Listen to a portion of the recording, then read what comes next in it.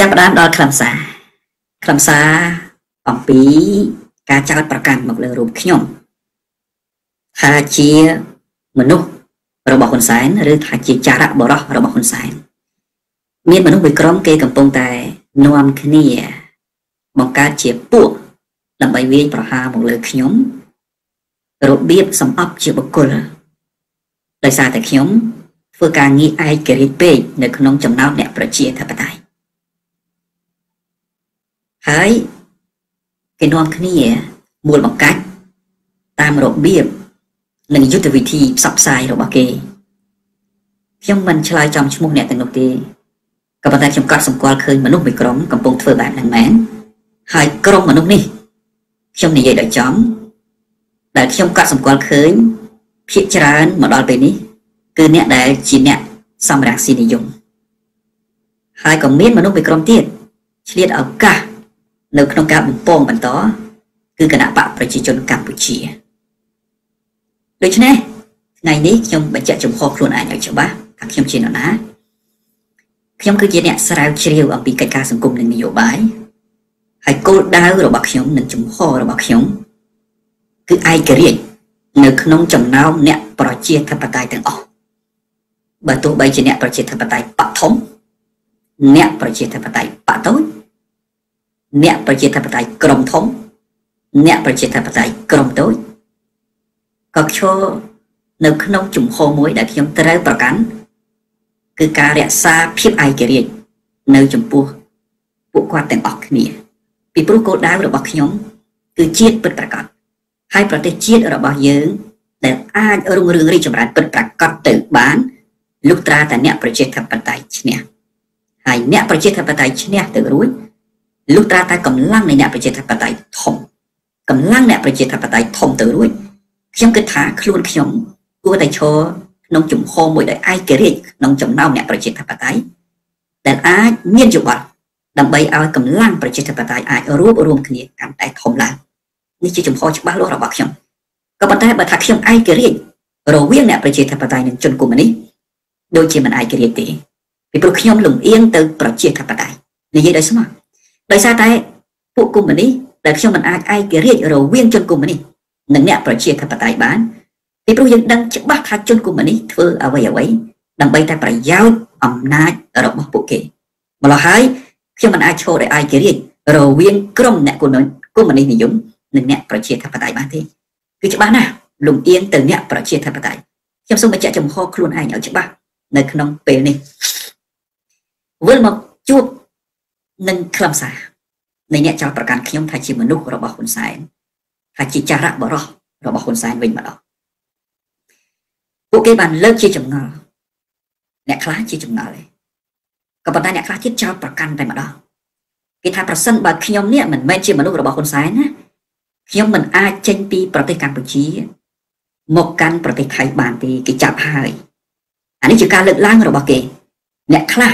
ខ្ញុំសូមបញ្ជាក់ម្ដងទៀត គាត់លើកឡើងជាចំណល់ក៏ប៉ុន្តែអ្នកខ្លះទៀតគាត់មិនមែនលើកឡើងជាចម្ងល់ទេគាត់ចោទយកតែម្ដងគាត់ចោទថាដោយសាររូបភាពហ្នឹងដែលខ្ញុំអាចគេចចេញពីទីក្រុងភ្នំពេញមកទីក្រុងបាងកកបានហើយសុំសិទ្ធិធ្វើនយោបាយសុំសុំសិទ្ធិជ្រកកោននយោបាយនៅប្រទេសហ្វាំងឡង់បាន គឺដោយសារតែក្រុមលោកហ៊ុនសែននេះបើកឱកាសឲ្យខ្ញុំចេញនេះជាការចោទរបស់គេខ្ញុំសូមបញ្ជាក់ ដោយស្មារតីជាអ្នកប្រជាធិបតេយ្យនិយមជាអ្នកហេតុផលនិយមអំពីរឿងរ៉ាវទាំងនេះចំណុចទី1ពេលដែលខ្ញុំចេញពីទីក្រុងភ្នំពេញមកកាន់ទីក្រុងបាងកកគឺជាការភៀសខ្លួន ដែលខ្ញុំនិងកូនស្រីធ្វើឡើង ដោយវេទនាបំផុតហើយប្រឈមទៅនឹងគ្រោះដល់ជីវិតខ្ញុំចេញពីទីក្រុងភ្នំពេញ មកដល់ស្រុកពុកស្ទើរតែត្រូវគេចាប់បានខ្ញុំមិនរៀបរាប់ច្រើនពេកទេកុំឲ្យថាខ្ញុំនេះត្អូញត្អែដើម្បីទាញការអាណិតអាសូរខ្ញុំអត់ត្អូញត្អែដើម្បីទាញការអាណិតអាសូរទេពីព្រោះខ្ញុំមិននិយាយដើម្បីប្រមូលលុយកាក់ទេបងប្អូនបងប្អូនស្គាល់អ្វីទៅដែលជាទំនាក់ទំនងសន្តានចិត្តរបស់ខ្ញុំចំពោះអ្នកប្រជាធិបតេយ្យហើយសកម្មភាពរបស់ខ្ញុំគឺខ្ញុំមិនធ្វើដើម្បីប្រមូលលុយកាក់ទេដើម្បីតាក់ទាញលុយកាក់ទេដើម្បីតាក់ទាញការអាណិតអាសូរទេ ក៏ប៉ុន្តែគោលដៅគឺដើម្បីប្រជាធិបតេយ្យមួយហើយខ្ញុំចូលរួមនៅក្នុងសកម្មភាពនេះយ៉ាងពិតប្រាកដខ្ញុំមកដល់ស្រុកពួកដែលចេញពីទីក្រុងភ្នំពេញស្ទើរតែត្រូវគេចាប់បានក៏ប៉ុន្តែដោយសារអ្នករៀបចំខ្ញុំបើកមុខកញ្ចក់បន្តិចចុះអ្នករៀបចំជួយខ្ញុំមិនមែនមនុស្សគណៈបកប្រជាជនកម្ពុជាទេអ្នករៀបចំជួយខ្ញុំគឺជាមន្ត្រីជាន់ខ្ពស់3រូបរបស់គណៈបកសង្គ្រោះជាតិពេលខ្ញុំអត់ស្គាល់គាត់ថាជាអ្នកនិន្នាការសមរង្ស៊ីនិយម ឬក៏ជាមនុស្សនិន្នាការកម្មសុខានិយមទេខ្ញុំគ្រាន់តែដឹងថាគាត់ជាមិត្តភក្តិហើយជាមន្ត្រីជាន់ខ្ពស់នៃគណៈបកសង្គ្រោះជាតិពួកគាត់រៀបចំក្បួនដើម្បីឲ្យខ្ញុំចេញពីទីក្រុងភ្នំពេញទៅទីក្រុងបាកោបិទវងកញ្ចក់កន្លែងហ្នឹងបន្តិចពេលចេញពីស្រុកពួកដែលកិច្ចពីការចាប់របស់គេបាននៅស្រុកពួកនោះទៅដល់ប៉ោយប៉ែតទៅដល់ប៉ោយប៉ែតហ្នឹងល្ងាចមែនទេហើយការឆ្លងព្រំដែនប៉ោយប៉ែតនោះទៀតសោតណា មិនវ័យប៉ាសពតឆ្លងទេគឺឆ្លងដោយវិធីឬយុទ្ធសាស្ត្រនៃការរៀបចំរបស់គាត់ទាំង3នាក់ដែលខ្ញុំនិយាយហ្នឹងហើយមានមនុស្សមួយចំនួនទៀតដែលបានជួយគឺសកម្មជននៃគណៈបកសង្គ្រោះជាតិនេះខ្ញុំនិយាយដោយសេចក្តីស្មោះត្រង់បំផុតពេលដែលឆ្លងប៉ាសពតរបស់ខ្ញុំមិនបានវៃដោយស្របច្បាប់ទេគឺឆ្លងដោយយុទ្ធវិធីនៃអ្នករៀបចំ ពួកគាត់ខ្ញុំមិនដឹងថាពួកគាត់ទៅនិយាយអ្វីជាមួយនឹងអឺអ្នកយាមផ្លូវឬក៏ឆ្មាំនៅព្រំដែននោះទេខ្ញុំអត់ដឹងទេអត់ដឹងថាគាត់និយាយអ្វីទេ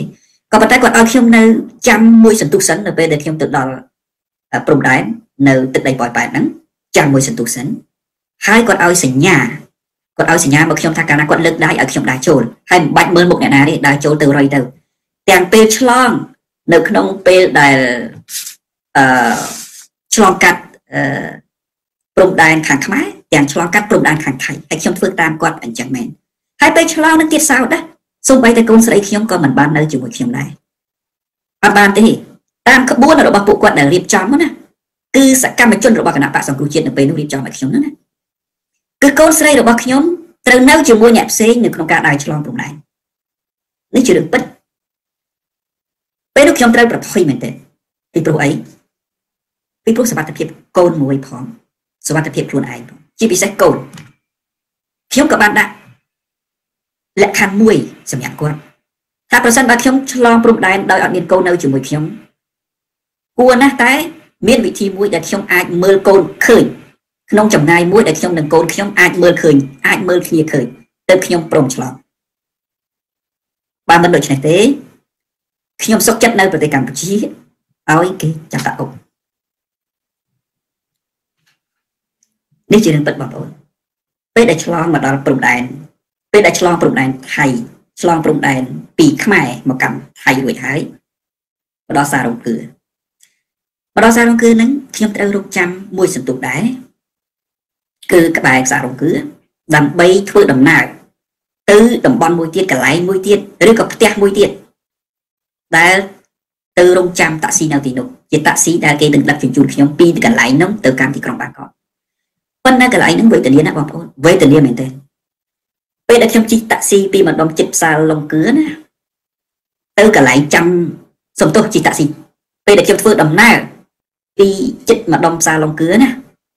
ទៅដល់កន្លែងរងចាំតាក់ស៊ីណាគឺត្រូវប្រថុយជីវិតពីព្រោះអីអ្នកបើកម៉ូតូគាត់បានប្រាប់ខ្ញុំដែរអ្នកបើកម៉ូតូជូនខ្ញុំណាថាបងត្រូវប្រថុយមែនតើបើបងមិនហ៊ានប្រថុយទេ គឺមិនអាចទៅដល់ទីក្រុងបាកកបានទេខ្ញុំពិតជាត្រូវប្រថុយអីវ៉ាន់ច្រើនផងជិះម៉ូតូមួយបងប្អូនសម័យមើលអោបកូនទៀតហើយនៅពេលជិះម៉ូតូហ្នឹងបងប្អូនជិះទាំងយប់ងងនឹកឈឹងផ្លូវលំតូចមួយ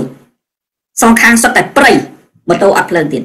បើក100 100ពីព្រោះមានគេតាមគេតាមបានហើយគេតាមចាប់មែនខ្ញុំមិនដឹងថា តើការតាមរបស់គេសំទោសខ្ញុំប្រើពាក្យតែគេតាមចាប់មែននឹងថាខុសទៅចុះប៉ុន្តែខ្ញុំចង់និយាយថាតើការតាមរបស់គេពិតជាដេញខ្ញុំឲ្យទៅឆ្ងាយឬក៏តាមចាប់ខ្ញុំពិតជាមិនប្រកាសទេប៉ុន្តែគេតាមមែនគេតាមប្រពាកមែនហើយអ្នកបើកម៉ូតូគឺបើកម៉ូតូលឿនមែនទេផ្លូវតូចផ្លូវលំតូចសងខាងសុទ្ធតែផ្លូវហើយផ្លូវហ្នឹងសុទ្ធតែថ្មសំណាងណាស់ដែលអត់ដួលម៉ូតូពេលនោះខ្ញុំបន់អស់ហើយដល់គុណឪពុកម្ដាយជាដូនជាតា ពីព្រោះប្រសិនបើដួលម៉ូតូអត់មានរស់ទេទាំងអ្នកបើកម៉ូតូទាំងខ្ញុំទាំងកូនហ្នឹងគឺប្រកាសជាគ្មានភាគរយមានជីវិតទេប៉ុន្តែយើងត្រូវបថុយមែនទេបថុយធ្វើដំណើររហូតមកដល់កន្លែងចាំតាស៊ីមកដល់កន្លែងចាំតាស៊ីទៅធូរបន្តិចទៅធូរបន្តិចណាបងប្អូនហើយខ្ញុំមានរូបថតខ្ញុំឆ្លៀតថតរូបមួយចំនួនទុកក៏ប៉ុន្តែខ្ញុំមិនដែលបង្ហោះទេពីព្រោះអីដោយតែខ្ញុំជម្រាបបងប្អូនចឹង ពីព្រោះអ្វីដែលខ្ញុំធ្វើគឺជាការចូលរួមបង្ហាញស្មារតីដើម្បីគោលដៅប្រជាធិបតេយ្យមិនមែនជាការថតរូបដើម្បីបង្ហោះនៅក្នុងគោលដៅទៀមទានៅការអាណិតអាសូរហើយរកការរៃលុយនៃកាក់ទេអត់មានទេរូបថតមានវេទនាបណ្ណាអីកន្លែងណាអីមានទាំងអស់ប៉ុន្តែខ្ញុំមិនដែលបង្ហោះទេនេះជារឿងពិតណាបងប្អូននេះជារឿងពិត ដែលខ្ញុំបានធ្វើមកដល់ទីក្រុងបាងកកធ្វើដំណើរតាមតាក់ស៊ីពីកន្លែងដែលខ្ញុំធ្វើដំណើរពីសារងគ្លឺមកដល់កន្លែងដោយម៉ូតូមកដល់កន្លែងចាំតាក់ស៊ីធ្វើដំណើរតាមតាក់ស៊ីពីកន្លែងហ្នឹងមកដល់ទីក្រុងបាងកកទៅធូរបន្តិចប៉ុន្តែក៏ប្រលឹងចុងសក់ដែរណាប្រលឹងចុងសក់ពីព្រោះតាក់ស៊ីនោះមិនមែនបើកធម្មតាទេបងប្អូននឹងឲ្យបើករត់ណាមិនមែនបើកធម្មតាទេបើករត់មកដល់ទីក្រុងបាងកកទៅធូរមែនទេមកដល់ទីក្រុងបាងកកទៀតសោត ខ្ញុំចង់ដាក់ឯកសារដើម្បីសុំសិទ្ធិជ្រកកោនទៅ UNHCR រកវិធីទៅការិយាល័យ UNHCR អត់បានទេមិនមែនមិនស្គាល់ទេអ្នកដែលជួយខ្ញុំដែលខ្ញុំនិយាយថាជាមន្ត្រីជាន់ខ្ពស់គណៈបកសង្គ្រោះជាតិហ្នឹងណាគាត់ស្គាល់ហើយខ្ញុំពិតជាអរគុណគាត់គាត់ពិតជាជួយខ្ញុំដោយសេចក្តីស្មោះត្រង់នេះបើអត់គាត់ខ្ញុំប្រហែលជាកិច្ចមិនរួចដែរតាមមើលគេអាចចាប់ខ្ញុំបាននៅទីក្រុងបាងកកទៀតក៏ប៉ុន្តែគាត់ពិតជាជំនាញជួយខ្ញុំមែនហើយមនុស្សហ្នឹងណា ដែលជាមន្ត្រីជាន់ខ្ពស់ហ្នឹងគឺជាមនុស្សជាអ្នកសំរាំងស៊ីនិយមទៀតខ្ញុំនិយាយដោយស្មោះចំពោះអ្វីដែលបានកើតមានពីសប្តាហ៍នៅពេលដែលខ្ញុំទៅដល់ទីក្រុងបាងកកអត់មានទេផ្លូវដែលខ្ញុំអាចទៅជួបមន្ត្រីអង្គការសហជីវជាតិបានខ្ញុំរកវិធីតាក់ទងតាមទូរស័ព្ទហើយខ្ញុំបានណាត់មន្ត្រីអង្គការសហជីវជាតិនៅក្រៅការិយាល័យរបស់គាត់ពីព្រោះគាត់ក៏ដឹងអំពីស្ថានភាពខ្ញុំដែរ ពេលដែលខ្ញុំណាត់បានខ្ញុំដល់ទីក្រុងបាងកកប្រហែល2សប្តាហ៍ខ្ញុំណាត់មន្ត្រីអង្គការសហប្រជាជាតិនៅក្រៅការិយាល័យរបស់គាត់ខ្ញុំដាក់ឯកសារជាមួយគាត់ហើយក្រោយមកទៀតទើបគាត់មានវិធីផ្សេងទៀតដើម្បីឲ្យខ្ញុំអាចថតរូបបានដើម្បីបញ្ជាក់អំពីអត្តសញ្ញាណរបស់ខ្ញុំដែលជាអ្នកសុំសិទ្ធិចុះកោនពី UNHCR ហ្នឹងគឺយើងធ្វើការបណ្ដាក់គ្នាមែនតើហើយសម្ងាត់មែនតើ ពីព្រោះខ្ញុំមិនអាចទៅការិយាល័យអង្គការសហប្រជាជាតិដោយផ្ទាល់ដោយសារតែមនុស្សរបស់គណៈបកប្រជាជនកម្ពុជានៅរាយព័ទ្ធជុំវិញអង្គការសហប្រជាជាតិហ្នឹងគេចាំតាមខ្លួនមើលដូច្នេះទៅអត់បានទេខ្ញុំដាក់ពាក្យហើយប្រហែល2សប្តាហ៍បានន័យថាទៅដល់បាងកកប្រហែល2សប្តាហ៍ខ្ញុំផែដាក់ពាក្យដាក់ពាក្យហើយប្រហែលផែ1សប្តាហ៍ឬក៏10ថ្ងៃទេខ្ញុំក៏ភ្លេចពេលវេលាហ្នឹងខ្ញុំបានសិទ្ធជ្រកកោនតាមរយៈ UNHCR ប្រហែល1សប្តាហ៍ក្រោយមកទៀត ខ្ញុំបានការទទួលយករបស់ប្រទេសហ្វាំងឡង់ឲ្យមករស់នៅជាជនភៀសខ្លួនផ្នែកនយោបាយខ្ញុំបានប្រាប់ទៅមន្ត្រីអង្គការសហជីវជាតិនេះកន្លែងនេះខ្ញុំមិនត្រូវនិយាយទេពីព្រោះជារឿងសម្ងាត់របស់អង្គការសហជីវជាតិហើយគេហាមខ្ញុំមិនឲ្យនិយាយទេណាប៉ុន្តែវាមានរឿងពាក់ព័ន្ធច្រើនដូច្នេះខ្ញុំមិនអាចនិយាយឲ្យហួសពីអ្វីដែលខ្ញុំអាចនិយាយបានខ្ញុំគ្រាន់តែចង់បញ្ជាក់ថាខ្ញុំប្រាប់មន្ត្រីអង្គការសហជីវជាតិថាខ្ញុំមិនចង់ចេញទៅប្រទេសហ្វាំងឡង់ទេ មិនមែនព្រោះតែខ្ញុំស្អប់ហ្វាំងឡង់ទេប៉ុន្តែខ្ញុំអាយុច្រើនប៉ុណ្ណឹងទៅហើយខ្ញុំទៅរៀនភាសាមួយទៀតថ្មីស្រឡាងវាពិបាកណាស់សម្រាប់ខ្ញុំដូច្នេះប្រសិនបើ UNHCR អាចជួយខ្ញុំទៅកាន់ប្រទេសណាក៏បានតែប្រើភាសាអង់គ្លេសដើម្បីងាយស្រួលដល់ខ្ញុំបន្តិចឬប្រើភាសាបារាំងបារាំងខ្ញុំមិនចេះច្រើនប្រហែលដែរទេប៉ុន្តែយើងមានមូលដ្ឋានគ្រឹះវាងាយនឹងឆាប់ឲ្យយើងអាចសម្របសម្រួលខ្លួនបានណាអានឹងវាងាយសម្រាប់ខ្ញុំ ទី1សម្រាប់ខ្ញុំរៀនសូត្របន្តទី2សម្រាប់ខ្ញុំដែលអាចមានឱកាសតស៊ូនយោបាយតទៅទៀតក៏ប៉ុន្តែ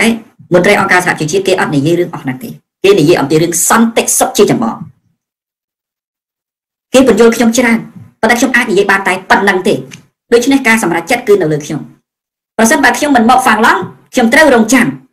តើខ្ញុំរងចាំពេលណាដល់ដល់រយៈពេលប៉ុណ្ណាដែលអាចចេញបានចុះបើពេលដែលខ្ញុំរងចាំនេះត្រូវគេចាប់បាន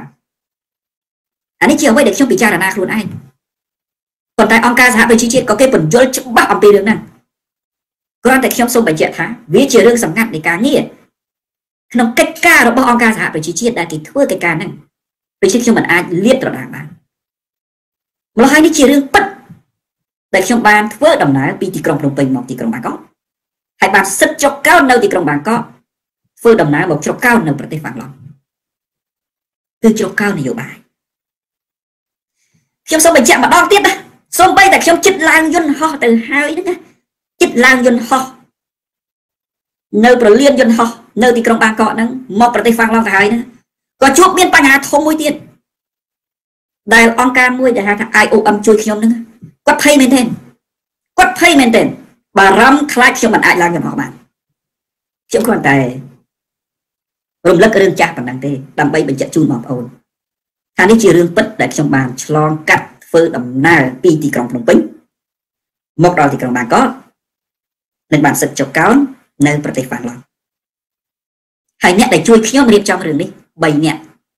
គឺមន្ត្រីជាន់ខ្ពស់គណៈបកសង្គ្រោះជាតិ3នាក់ដែលដំបូងឡើយខ្ញុំបានបញ្ជាក់ឲ្យថាខ្ញុំមិនដឹងថាគាត់អ្នកណានិយមទេខ្ញុំគ្រាន់តែដឹងថាជាមន្ត្រីជាន់ខ្ពស់នៃគណៈបកសង្គ្រោះជាតិថាខ្ញុំសូមមិនបញ្ជាក់ឈ្មោះទេហើយមានសកម្មជននៅថៃមួយចំនួនទៀតដែលបានធ្វើកិច្ចការនេះផ្ទាល់ អត់មានតាក់ទងនឹងគណៈបកប្រជាជនកម្ពុជាសោះដូច្នេះអ្នកចោទខ្ញុំនោះថាខ្ញុំជាមនុស្សរបស់ហ៊ុនសែននោះគួរពិចារណាឡើងវិញខ្ញុំមិនប្រើភាសាអប្សរោះដើម្បីវាយបកទេខ្ញុំគ្រាន់តែបញ្យល់អំពីស្ថានភាពរបស់ខ្ញុំអ្វីដែលខ្ញុំអាចឆ្លើយបានខ្ញុំមិនដឹងថាតើការចេញរបស់ខ្ញុំពីទីក្រុងភ្នំពេញមកទីក្រុងបាងកកពីព្រោះតែគេមិនចង់ចាប់ឬក៏គេចាប់មិនបានទេ ខ្ញុំពិតជាមិនដឹងនិងខ្ញុំពិតជាមិនអាចឆ្លើយបានប៉ុន្តែខ្ញុំគ្រាន់តែអាចឆ្លើយបានពីរចំណុចថាទី1ខ្ញុំយកជីវិតទៅដាក់ជាមួយនឹងកូនស្រីដើម្បីចេញពីទីក្រុងភ្នំពេញមកទីក្រុងបាងកកមែនហើយអ្នកដែលជួយខ្ញុំមិនមែនពួកមន្ត្រីគណៈបកប្រជាជនទេគឺមន្ត្រីជាន់ខ្ពស់នៃគណៈបកសង្គ្រោះជាតិនេះជាចំណុចច្បាស់លាស់ដែលខ្ញុំសូមជម្រាបចំណុចទី2មុនចេញដំណើរមកខ្ញុំគ្មានតាក់ទងជាមួយអ្នកណាទាំងអស់ ដែលជាអ្នកនៅក្នុងបណ្ដាញគណៈបកប្រជាជនមិនមានកិច្ចសន្យាមិនមានកិច្ចសន្យាសំបីតែជាលាយលក្ខអសរជាពាក្យសម្ដីជាមួយលោកហ៊ុនសែនឬក៏ជាមួយមនុស្សរបស់លោកហ៊ុនសែនទេនេះជាការពិតហើយសកម្មភាពរបស់ខ្ញុំមិនត្រឹមតែមុនពេលចាក់ចេញហ្នឹងទេតាំងពីខ្ញុំចេញមុខជាថ្មីម្ដងទៀតខ្ញុំមិនដែលមានទំនាក់ទំនងអ្វីទាល់តែសោះជាមួយនឹងគណៈបកប្រជាជនកម្ពុជាខ្ញុំជូនជាការពិចារណាដល់បងប្អូននៅការពិតដែលមានចំពោះខ្ញុំ ហើយឆ្លោះបញ្ចាំងទៅមើលតើអ្នកចោតខ្ញុំនោះជាអ្នកដែលប្រឌិតរឿងដើម្បីតែបង្កើនសារនយោបាយរបស់ខ្លួនដើម្បីខ្លួនឯងឬក៏ជាប្រភេទមនុស្សដែលគ្រាន់តែចេះតែនិយាយឲ្យលឺពីព្រោះអត់អត់មានរឿងនិយាយអានេះបងប្អូនពិចារណាដោយខ្លួនឯងខ្ញុំមិនសន្និដ្ឋានអ្វីទាំងអស់ប៉ុន្តែជូនរឿងពិតដល់បងប្អូន ចំណុចមួយទៀតដែលខ្ញុំចង់ឆ្លើយទៅអ្នកចោតប្រកាន់ខ្ញុំដែរថាអ្នកភៀសខ្លួនដូចខ្ញុំនេះមិនមែនតែខ្ញុំម្នាក់ទេអ្នកភៀសខ្លួនដែលរកសវត្ថភាពសន្តិសុខដូចខ្ញុំមានច្រើនណាស់ឧទាហរណ៍មន្ត្រីកណ្ថ្នាក់កណ្ដាលនិងជាន់ខ្ពស់នៃគណៈបកសង្គ្រោះជាតិច្រើនអ្នកណាស់ដែលភៀសខ្លួនមកកាន់ទីក្រុងបាងកកអ្នកខ្លះក៏បានសិទ្ធចេញទៅប្រទេសទី3អ្នកខ្លះទៀតអត់ទាន់បានសិទ្ធចេញទៅប្រទេសទី3ទេ ហើយអ្នកខ្លះមួយចំនួនទៀតទៅសិតតែមានដីកាតាមចាប់របស់របបក្រុងភ្នំពេញប៉ុន្តែហេតុអ្វីបានជាពួកគាត់ចេញបានបងប្អូនពិចារណាទៅមើលពួកគាត់ចេញបានពិតមែនដោយសារតែគេមិនចង់ចាប់គាត់ថាបានគេមិនចង់ចាប់មិនមែនព្រោះតែពួកគាត់បំរើគេទេទៅយល់គឺគេមិនចង់ចាប់ពីព្រោះតែគេមិនចង់ឲ្យពួកគាត់ធ្វើសកម្មភាពនៅក្នុង ទឹកដីនៃប្រទេសកម្ពុជាគេរុញឲ្យគាត់ចេញឆ្ងាយអ្នកដែលចោតនឹងមិនពិចារណាត្រង់នឹងផងទេឬឲ្យតែអ្នកចេញបានលក់ខ្លួននឹងឲ្យតែអ្នកចេញបានសត្វតែជាមនុស្សរបស់ហ៊ុនសែនឬសូមពិចារណារួចសូម្បីតែអ្នកខ្លះដែលចោតខ្ញុំក៏ជាអ្នកចេញបានតាមរបៀបខ្ញុំដូចគ្នាដែរគឺវេទនាបំផុតដូចគ្នាចុះមិនក៏មកចោតខ្ញុំដូច្នេះអ្នកចោតនេះអ្នកមកចោតខ្ញុំនេះអ្នកនឹងស្មើនឹងមើងងាយសហការីរបស់ខ្លួនឯងរាប់រយអ្នក ដែលបានកិច្ចខ្លួនទៅប្រទេសថៃសូមអ្នកពិចារណាឡើងវិញស្មើនឹងមើងងាយសហការីរបស់ខ្លួនដែលបានកិច្ចខ្លួនរកទីសុវត្ថិភាពនៅប្រទេសថៃហើយអ្នកដែលចោតខ្ញុំហ្នឹងក៏ស្មើនឹងមើលងាយអ្នកសារព័ត៌មានល្បីល្បីមួយចំនួនដែលបានគិតខ្លួនដូចខ្ញុំដែរតើពួកគាត់នោះជាមនុស្សរបស់ហ៊ុនសែនទេជាចារៈរបស់បរិបរបស់ហ៊ុនសែនទេហេតុអីបានជាគាត់ចេញបានសូមពិចារណាឡើងវិញ អ្នកចោតខ្ញុំស្មើនឹងអ្នកចោតមនុស្សរាប់រយអ្នកទៀតដែលកំពុងមានបញ្ហាដូចខ្ញុំដែរហើយមិនចង់ចេញពីប្រទេសកម្ពុជាដូចខ្ញុំដែរអ្នកត្រូវពិចារណាឲ្យមែនទែនណាហើយបើអ្នកចោតខ្ញុំរបៀបនេះជាពិសេសខ្ញុំនិយាយឲ្យចំទៅអ្នកដែលជាអ្នកលោកសំរងស៊ីនិយមស្មើនឹងអ្នកមើលងាយលោកសំរងស៊ីហើយពីព្រោះអីខ្ញុំចេញពីប្រទេសកម្ពុជាយកជីវិតដាក់ដើម្បីចេញពីភ្នំពេញមកដល់ទីក្រុងបាងកកប៉ុន្តែ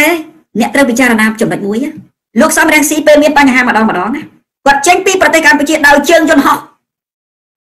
សួរថាតើបើគេចង់ចាប់ចាប់បានទេបើគេចង់ចាប់គឺគេចាប់បានហើយប៉ុន្តែហេតុអ្វីបានជាគេមិនចង់ចាប់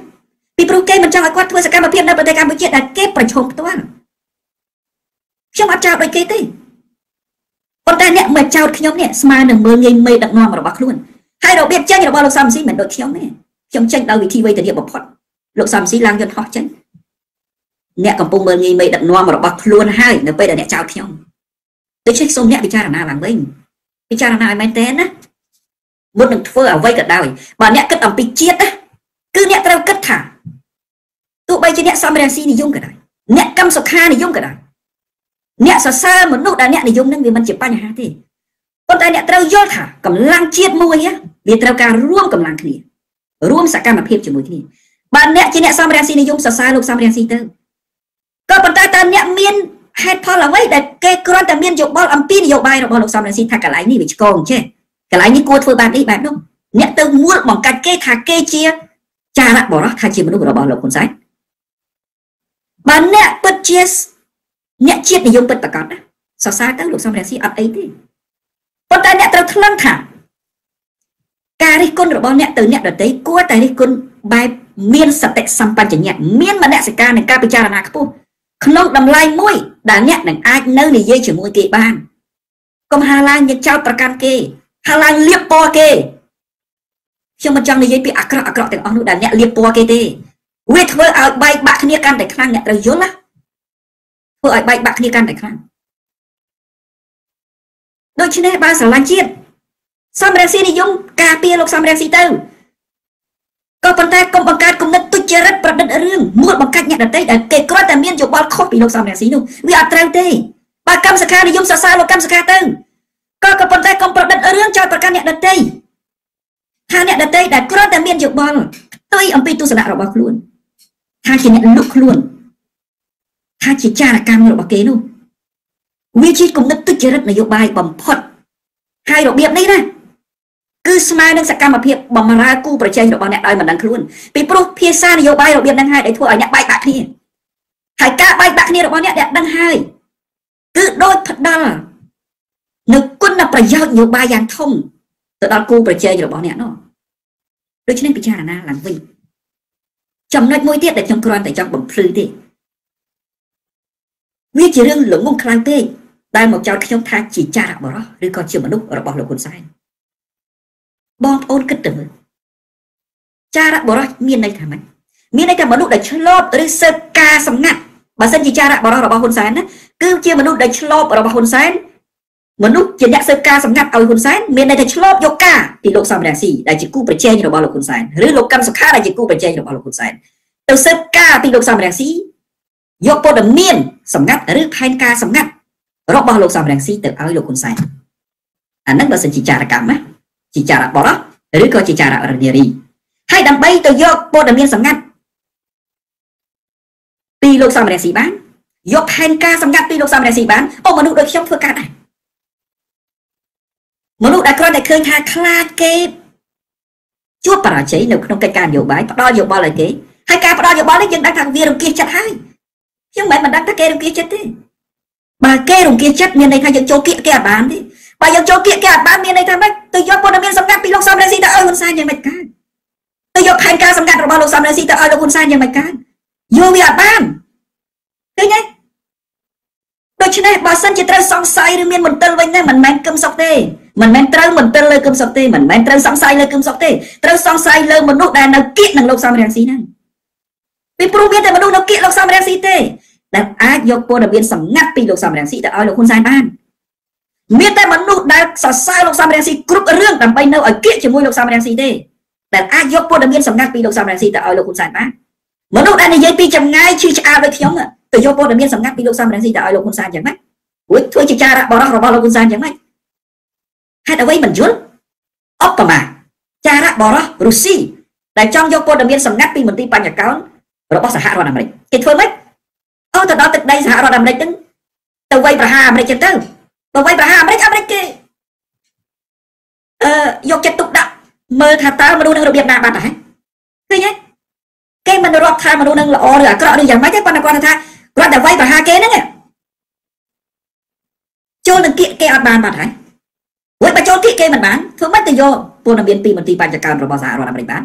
បើចង់យកព័ត៌មានមន្ទីរបញ្ញកម្មរបស់សហរដ្ឋអាមេរិកបានទោះតែចារៈបរោះឬចារៈនារីរបស់រុស្ស៊ីហ្នឹងទៅធ្វើការងារដោយផ្ទាល់នៅមន្ទីរបញ្ញកម្មហ្នឹងតែម្ដង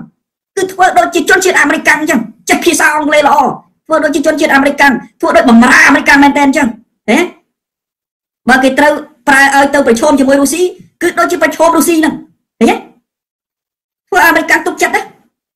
ឲ្យតួនាទីសំខាន់នៅក្នុងមន្ទីរបញ្ចកោណការងារសំខាន់នៅក្នុងមន្ទីរបញ្ចកោណទើបអ្នកនឹងអាចដឹងរឿងសម្ងាត់ពីមន្ទីរបញ្ចកោណហ្នឹងយកទៅប្រាប់រដ្ឋាភិបាលរុស្ស៊ីបានបើគ្រាន់តែមើលមើលពីចម្ងាយហ្នឹងធ្វើមិនទាំងអាចដឹងរឿងសម្ងាត់ពីមន្ទីរបញ្ចកោណយកទៅប្រាប់រដ្ឋាភិបាលរុស្ស៊ីបាន ចារកម្មរបស់របស់អាមេរិកក៏ចឹងដែរបើចង់យកព័ត៌មានសម្ងាត់ពីរដ្ឋាភិបាលរុស្ស៊ីគឺត្រូវបញ្ជូនមនុស្សឲ្យទៅស្និទ្ធធ្វើការជាក្នុងរដ្ឋាភិបាលរុស្ស៊ីតែម្ដងទើបអាចយកព័ត៌មានសម្ងាត់ពីរដ្ឋាភិបាលរុស្ស៊ីឧបមាចង់ដឹងព័ត៌មានសម្ងាត់អំពីផែនការរបស់រុស្ស៊ីក្នុងការទប់ស្កាត់ឬក៏វាយប្រហារអឺអ៊ុយក្រែនចឹងចុះសួរថាអ្នកណាអាចយកព័ត៌មាននឹងបានតើតែមនុស្សដែលធ្វើការក្នុងផែនការហ្នឹងបានអាចយកព័ត៌មាននឹងបាន ដូច្នេះបើសិនជាអ្នកណាម្នាក់ជាចារកម្មរបស់អាមេរិកតើតែអ្នកនឹងចូលឲ្យដល់អ្នករៀបចំផែនការឬអនុវត្តផែនការហ្នឹងបានដឹងថាព័ត៌មានសម្ងាត់របស់រុស្ស៊ីនឹងរបៀបម៉េចបញ្ជូនព័ត៌មានសម្ងាត់ហ្នឹងទៅអាមេរិកបានប្រៀបធៀបមកខ្ញុំវិញខ្ញុំជាមនុស្សពីចម្ងាយដែលគ្រាន់តែមានយោបល់ឈឺឆ្អាលអំពីប្រជាធិបតេយ្យទៅយកព័ត៌មានសម្ងាត់ពីលោកសំរងស៊ីទៅប្រាប់លោកហ៊ុនសែនយ៉ាងម៉េចចារកម្មរបៀបណាដូច្នេះ នេះជារឿងមួយតែគ្រាន់តែខ្ញុំស្ដាប់មកទៅពិតជាអស់សំណើចមែនទែនណាអស់សំណើចទៅនាំគ្នាប្រកាសជាក្រុមវាយប្រហារខ្ញុំដោយអវិជ្ជាបំផុតណាខ្ញុំថាអវិជ្ជានយោបាយបំផុតណាម្ល៉េះហើយល្មមល្មមទៅសកម្មភាពបែបហ្នឹងដូចអ្នកបំរើហ៊ុនសែនអញ្ចឹងដូចអ្នកបំរើហ៊ុនសែនអញ្ចឹងអ្នកកំពុងបំរើហ៊ុនសែនដោយមិនដឹងខ្លួនទេពីព្រោះអីប្រកាន់មកខ្ញុំ វាស្មើនឹងអ្នកមើលងាយសកម្មជននយោបាយមេដឹកនាំនយោបាយតែកំពុងតែស្វែងរកសិទ្ធិជ្រកកោននយោបាយនៅប្រទេសថៃរាប់រយនាក់អ្នកដូចស្មើនឹងមើលងាយអ្នកសារព័ត៌មានល្បីល្បីដែលកិច្ចចេញអំពីទីអសវត្ថភាពនៅប្រទេសកម្ពុជាមករកទីសវត្ថភាពនៅប្រទេសថៃនិងកន្លែងផ្សេងទៀតស្មើនឹងអ្នកមើលងាយមេដឹកនាំរបស់ខ្លួនគឺឯកឧត្តមសំរងស៊ីដូច្នេះហើយប្រយ័ត្នប្រយែងឲ្យមែនទែនសារនយោបាយណាក៏ដោយ កុំធ្វើអ្វីដើម្បីគ្រាន់តែប្រយោជន៍ផ្ទាល់ខ្លួនតែម្នាក់ឯងហើយកុំតិចចោលនៅការប្រឹងប្រែងរបស់មនុស្សជាច្រើនទៀតដែលគេធ្វើនៅក្នុងគោលដៅប្រជាធិបតេយ្យទៅមុខមិនរួចទេហើយរបៀបនេះណាគឺជារបៀបដែលអ្នកបំរើនៅនយោបាយគូប្រជែងរបស់អ្នកដោយមិនដឹងខ្លួនទេដូច្នេះខ្ញុំសូមបញ្ជាក់ដោយខ្លីជំហររបស់ខ្ញុំគឹមសុខគឺប្រជាធិបតេយ្យច្បាស់លាស់ណាស់ថាគឺប្រជាធិបតេយ្យសកម្មភាពរបស់ខ្ញុំពេលនេះ ដើម្បីប្រជាធិបតេយ្យមួយរឹងមាំគឺការរួបរวมគ្នាព្យាយាមបង្រួបបង្រួមកម្លាំងអ្នកប្រជាធិបតេយ្យដោយឈរទៅលើគោលការណ៍ដែលយើងអាចនិយាយគ្នាបានដើម្បីជាតិយើងទាំងអស់គ្នាហើយខ្ញុំឈរនៅកណ្ដាលនៃអ្នកប្រជាធិបតេយ្យទាំងអស់ដោយដែលខ្ញុំរំលឹកម្ដងទៀតថាបើទោះបីជាអ្នកប្រជាធិបតេយ្យក្រុមតូចអ្នកប្រជាធិបតេយ្យក្រុមធំអ្នកប្រជាធិបតេយ្យបាក់តូចអ្នកប្រជាធិបតេយ្យបាក់ធំខ្ញុំយល់ឃើញថា អ្នកគឺជាកម្លាំងរួមចំណែកធំ ដើម្បីឲ្យប្រជាធិបតេយ្យឈ្នះនៅពេលដែលអ្នកអាចចេះនិយាយរកគ្នា ចេះធ្វើការជាមួយគ្នាធ្វើការជាក្រុមដាក់គោលដៅរួមមិនគោលដៅឲ្យអា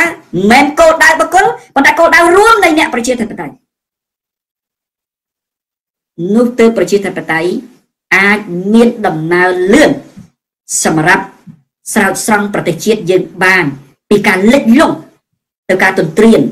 របស់បរទេសផងគេទន្ទ្រានទាំងទឹកដីគេទន្ទ្រានទាំងវប្បធម៌គេទន្ទ្រានទាំងសេដ្ឋកិច្ច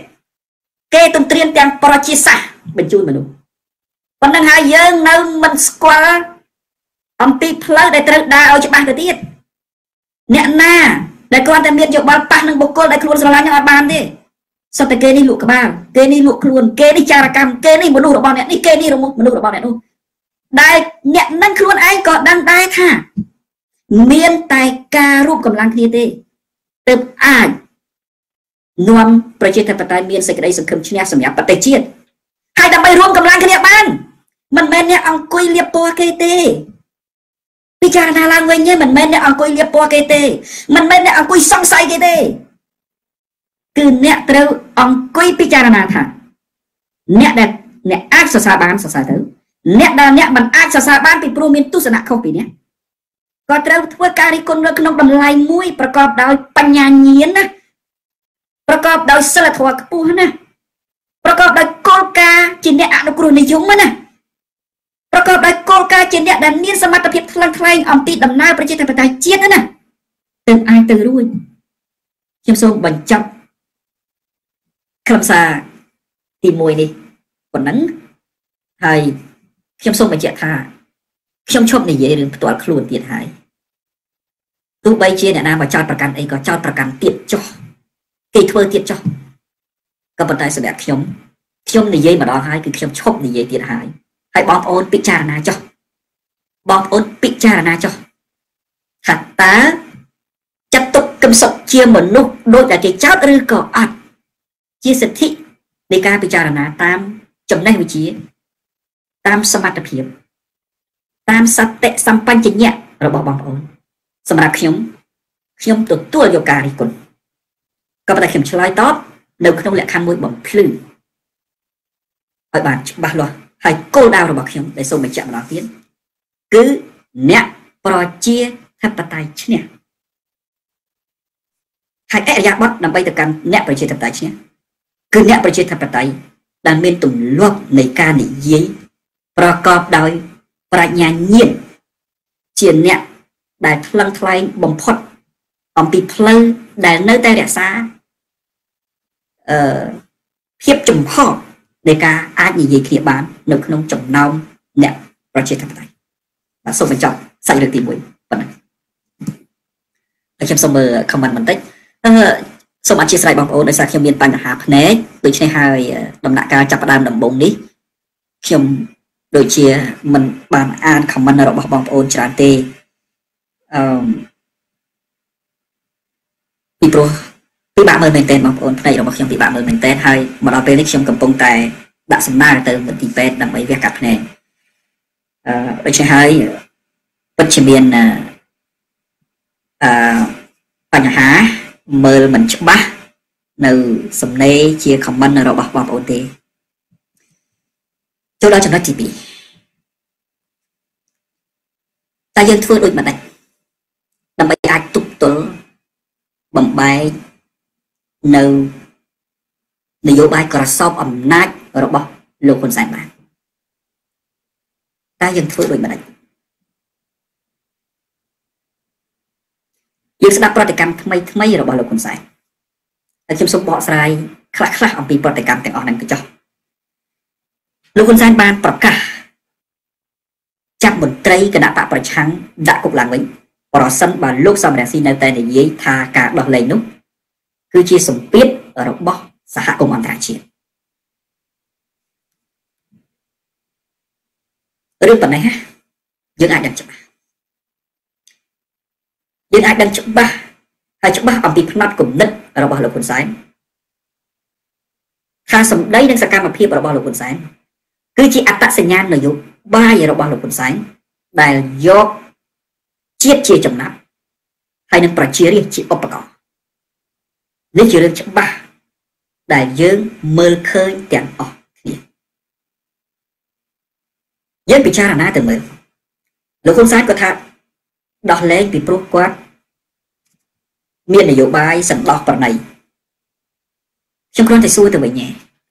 ប្រសិនបើលោកហ៊ុនសែនមាននយោបាយសន្តោសប្រណីមែនណាហេតុអ្វីលែងហើយបែរជាចង់ចាប់វិញនៅពេលដែលលោកហ៊ុនសែនគាត់ប្រើពាក្យថាអ្នកនោះចាញ់បោកគេបើគ្រាន់តែតែនៅចាញ់បោកគេលេងហើយលេងទៅចាំបាច់អីប្រមានចាប់វិញនេះជាលេសរបស់លោកហ៊ុនសែន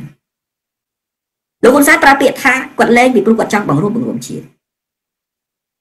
ខ្ញុំគ្រាន់តែចង់ឆ្លើយមួយម៉ាត់ដោយខ្លីសំទោសមួយប្រយោគដោយខ្លីទេ ថាបើសិនជាបង្រួបបង្រួមជាតិហេតុអ្វីលោកហ៊ុនសែនលែងហើយនៅបន្តឃុំសេរីភាពរបស់ពួកគាត់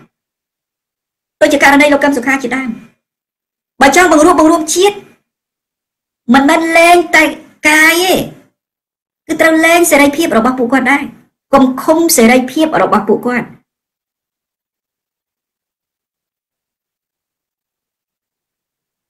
ពីព្រោះលោកហ៊ុនសែននិយាយហើយតា លោកហ៊ុនសែនខ្លួនឯងនិយាយថាពួកគាត់ចាញ់បោកសកម្មជនទាំងអស់ហ្នឹងចាញ់បោកលោកសំរងស៊ីបើដឹងថាគាត់ចាញ់បោកឬយ៉ាងណាឥឡូវអាចលើទស្សនៈរបស់លោកហ៊ុនសែនទៅចុះចាំបើចាញ់បោកឲ្យលេងឲ្យលេងទៅចាំបាច់នៅឃុំសេរីភាពគាត់ធ្វើអីលេងឲ្យលេងទៅចាំបាច់ចង់ចាប់វិញទៅអីនេះមិនមែនជារបៀបសម្ដោប្រណីទេហើយក៏មិនមែនជារបៀបបង្រួបបង្រួមជាតិដែរវាជារបៀបនៃការប្រើលេសក្នុងពាក្យសម្ដោប្រណីនិងបង្រួបបង្រួមជាតិក៏ប៉ុន្តែក្នុងល្បិចនយោបាយ បន្តគម្រាមកំហែងខ្លាចបាត់អំណាចហើយរឿងសម្ពាធរបស់សហគមន៍អន្តរជាតិនេះណាមិនចាំបាច់លោកសំរងស៊ីនិយាយឬមិននិយាយទេអ្នកណាក៏គេដឹងដែរមិនចាំបាច់លោកសំរងស៊ីនិយាយទេគ្រប់គ្នាសុទ្ធតែដឹងប្រជារាស្ត្រខ្មែរដឹងសកលលោកគេដឹងទាំងអស់រឿងសម្ពាធរបស់សហគមន៍អន្តរជាតិសម្ពាធរបស់សហរដ្ឋអាមេរិកសម្ពាធពីអង្គការសហប្រជាជាតិសម្ពាធពីសហភាពអឺរ៉ុប ដែលបន្តដាក់លើក្រមលោកហ៊ុនសែនពីព្រោះតែគេមើលឃើញថាដោយសារតែនយោបាយសម្លាប់ប្រជាធិបតេយ្យរបស់លោកហ៊ុនសែនដូច្នេះមិនចាំបាច់លោកសំរងស៊ីនិយាយទេម្ល៉េះហើយបើលោកហ៊ុនសែនមាននយោបាយសន្តោសប្រណីនិងបង្រួបបង្រួមជាតិពិតប្រាកដលែងពួកគាត់ទៅលែងសេរីភាពផងកុំលែងឲ្យប្រមានចាប់វិញលែងតែកាយឲ្យឃុំសេរីភាពរបស់ពួកគាត់អញ្ចឹងវាមិនមែនជា សច្ចរតភាពពិតប្រាកដនៅក្នុងខ្លឹមសារសន្តោសប្រណីនិងបង្រួបបង្រួមជាតិទេដូចដែលខ្ញុំបញ្ជាក់រឿងសម្ពាធរបស់សហគមន៍អន្តរជាតិអ្នកណាក៏ដឹងដែរមិនចាំបាច់ខ្ញុំនិយាយក៏មិនចាំបាច់លោកសំរងស៊ីនិយាយក៏មិនចាំបាច់អ្នកណាផ្សេងទៀតនិយាយដែរសម្ពាធរបស់សហគមន៍អន្តរជាតិខ្ញុំលើកតែឧទាហរណ៍មួយចុងក្រោយចុះនៅក្នុងការប្រជុំសភាអឺរ៉ុបពីម្សិលមិញ លោកហ្សង់បាប់ទីដែលជារដ្ឋមន្ត្រីការបរទេសនៃសហភាពអឺរ៉ុបគាត់បានកត់សម្គាល់ដោយខ្លួនគាត់ហើយសូមបញ្ជាក់ណារដ្ឋមន្ត្រីការបរទេសសហភាពអឺរ៉ុបមានន័យថាគឺគាត់និយាយតំណាងស្ថាប័នប្រតិបត្តិឬរដ្ឋាភិបាលនៃរដ្ឋអឺរ៉ុបនីមួយនីមួយមិនមែនសភាទេណាខ្ញុំមិនលើកអំពីសម្ដីរបស់សមាជិកសភារបស់សមាជិកព្រឹទ្ធសភារបស់បារាំងទេព្រោះជាសម្ដីរបស់សមាជិកព្រឹទ្ធសភាមិនមានអធិពល ដោយសម្ដីនៃមន្ត្រីរដ្ឋាភិបាលទេពីព្រោះមន្ត្រីរដ្ឋាភិបាលគេមានអំណាចប្រតិបត្តិរបស់រដ្ឋាភិបាលដែលចាត់វិធានការភ្លាមគឺចេញផលដូច្នេះលើកសម្ដីរបស់លោកយ៉ងបាទីគាត់បានកត់សម្គាល់ជាហោហែថាប្រទេសកម្ពុជាក្រោមការដឹកនាំរបស់លោកហ៊ុនសែននោះរំលោភបំពានធ្ងន់ធ្ងរមែនទែននេះជាពាក្យរបស់គាត់ដូច្នេះមិនចាំបាច់លោកសំរងស៊ីនិយាយទេហើយបើទោះបីជាលោកសំរងស៊ីនិយាយឬមិននិយាយវាមិនសំខាន់ទេ ពីព្រោះនេះជាវិធានការរបស់អឺរ៉ុបនេះជាអំណាចអំណាចដែលលើកដោយអឺរ៉ុបហើយជារដ្ឋមន្ត្រីការបរទេសអឺរ៉ុបទៀតមិនមែនជាមនុស្សធម្មតាមិនមែនជាសមាជិកសភាទេគាត់បាននិយាយស្កត់សម្គាល់ថាលោកហ៊ុនសែនដឹកនាំគាត់ប្រើពាក្យ derive ភាសាបារាំងបានន័យថាដឹកនាំចេញពីផ្លូវប្រជាធិបតេយ្យលើកទាំងវិធីមួយចំនួនដែលលោកហ៊ុនសែនធ្វើដូចជាការរំលាយគណៈបកសង្គ្រោះជាតិ ការបោះឆ្នោតមិនត្រឹមត្រូវនៅខែកក្កដាឆ្នាំ2018ដែលពុំមានការទទួលស្គាល់ពីសហគមន៍អន្តរជាតិគាត់បានប្រើពាក្យថាមិនល្អដូច្នេះនេះគឺជាសម្ដីពិតប្រាកដរបស់រដ្ឋមន្ត្រីនៃសហភាពអឺរ៉ុបរដ្ឋមន្ត្រីការបរទេសនៃសហភាពអឺរ៉ុបគាត់បាននិយាយអំពីការបញ្ជូនគណៈប្រតិភូអឺរ៉ុបទៅធ្វើការស្រាវជ្រាវរយៈពេល6ខែនៅប្រទេសកម្ពុជាដើម្បីរកការពិតអំពីដំណើរវិវត្ត នៅប្រទេសកម្ពុជាតកតងទៅនឹងសេរីភាពការងារក្តីសេរីភាពប្រជាពលរដ្ឋសិទ្ធិប្រជាពលរដ្ឋសិទ្ធិបញ្ចេញមតិសិទ្ធិអឺដីធ្លីអឺសិទ្ធិសង្គមស៊ីវិលសិទ្ធិកម្មករនិងជាពិសេសសិទ្ធិនយោបាយជាដើមគេស្រាវជ្រាវក្នុងរយៈពេល6ខែគេបានធ្វើរបាយការណ៍ដោយច្បាស់លាស់នេះគឺជាសម្ពាធពិតប្រាកដហើយសហភាពអឺរ៉ុបគេបានដាក់យន្តការពិតប្រាកដច្បាស់លាស់ដាក់យន្តការច្បាស់លាស់ តាមដំណាក់កាលស្រាវជ្រាវ6ខែធ្វើរបាយការណ៍3ខែឥឡូវមកដល់ដំណាក់កាលដែលគេប្រមានហើយថាក្នុងរយៈពេល1ខែនេះបើមិនមានការប្រែប្រួលជាវិជ្ជមានទេខែកុម្ភៈឆ្នាំ2020ប្រកាសណា EBA នឹងត្រូវព្យួរដូច្នេះលោកហ៊ុនសែនត្រូវឆ្លុះបញ្ចាំងឲ្យពិតប្រាកដថាអ្វីដែលជាការបន្ធូររបស់គាត់កន្លងមកគឺដោយសារសម្ពាធរបស់សហគមន៍អន្តរជាតិមែន កុំលេងលបែងនយោបាយរវាងបុគ្គលនយោបាយពីរនាក់ហើយវាធ្វើឲ្យខូចទៅនឹងនយោបាយបង្រួបបង្រួមជាតិមានន័យថាម៉េចមានន័យថាលោកសំរងស៊ីទោះបីជាគាត់និយាយក៏ដោយក៏មិនដែលជារឿងខុសអីដែរហើយបើទោះបីជាគាត់មិននិយាយក៏ដោយក៏រឿងហ្នឹងគឺជាសម្ពាធដែលគេមើលឃើញពិតប្រាកដដូច្នេះលោកហ៊ុនសែនកុំលេងលបែងហ្នឹងកុំលេងលបែងហ្នឹងមកបង្អាក់ដំណើរបង្រួបបង្រួមជាតិមួយ មកបង្អាក់ដំណើរនៃការផ្សះផ្សាជាតិមួយ ហើយមកបង្អាក់ដំណើរនៃយន្តការប្រជាធិបតេយ្យដែលទាមទារដោយអឺរ៉ុបដើម្បីស្ដារប្រទេសកម្ពុជាឡើងវិញសម្ពាធនេះមិនមែនចាំបាច់តែលោកសំរងស៊ីនិយាយណាយើងត្រូវពិចារណាឲ្យបានជាក់ស្ដែងទៅសម្ពាធពីប្រជារាស្ត្រដែលរហូតមកដល់ពេលបច្ចុប្បន្ននេះ ប្រជារាស្ត្រណាមិនត្អូញត្អែអំពីការដឹកនាំរបស់លោកហ៊ុនសែនហើយគាត់មិនទទួលយកការដឹកនាំរបស់លោកហ៊ុនសែនសម្ពាធពីផ្ទៃក្នុងបកក៏មានតាមរយៈសម្លេងបែកធ្លាយនៅក្នុងផ្នែកក្នុងបកដូចជាសម្លេងរបស់កូននាយករដ្ឋមន្ត្រីជាដើម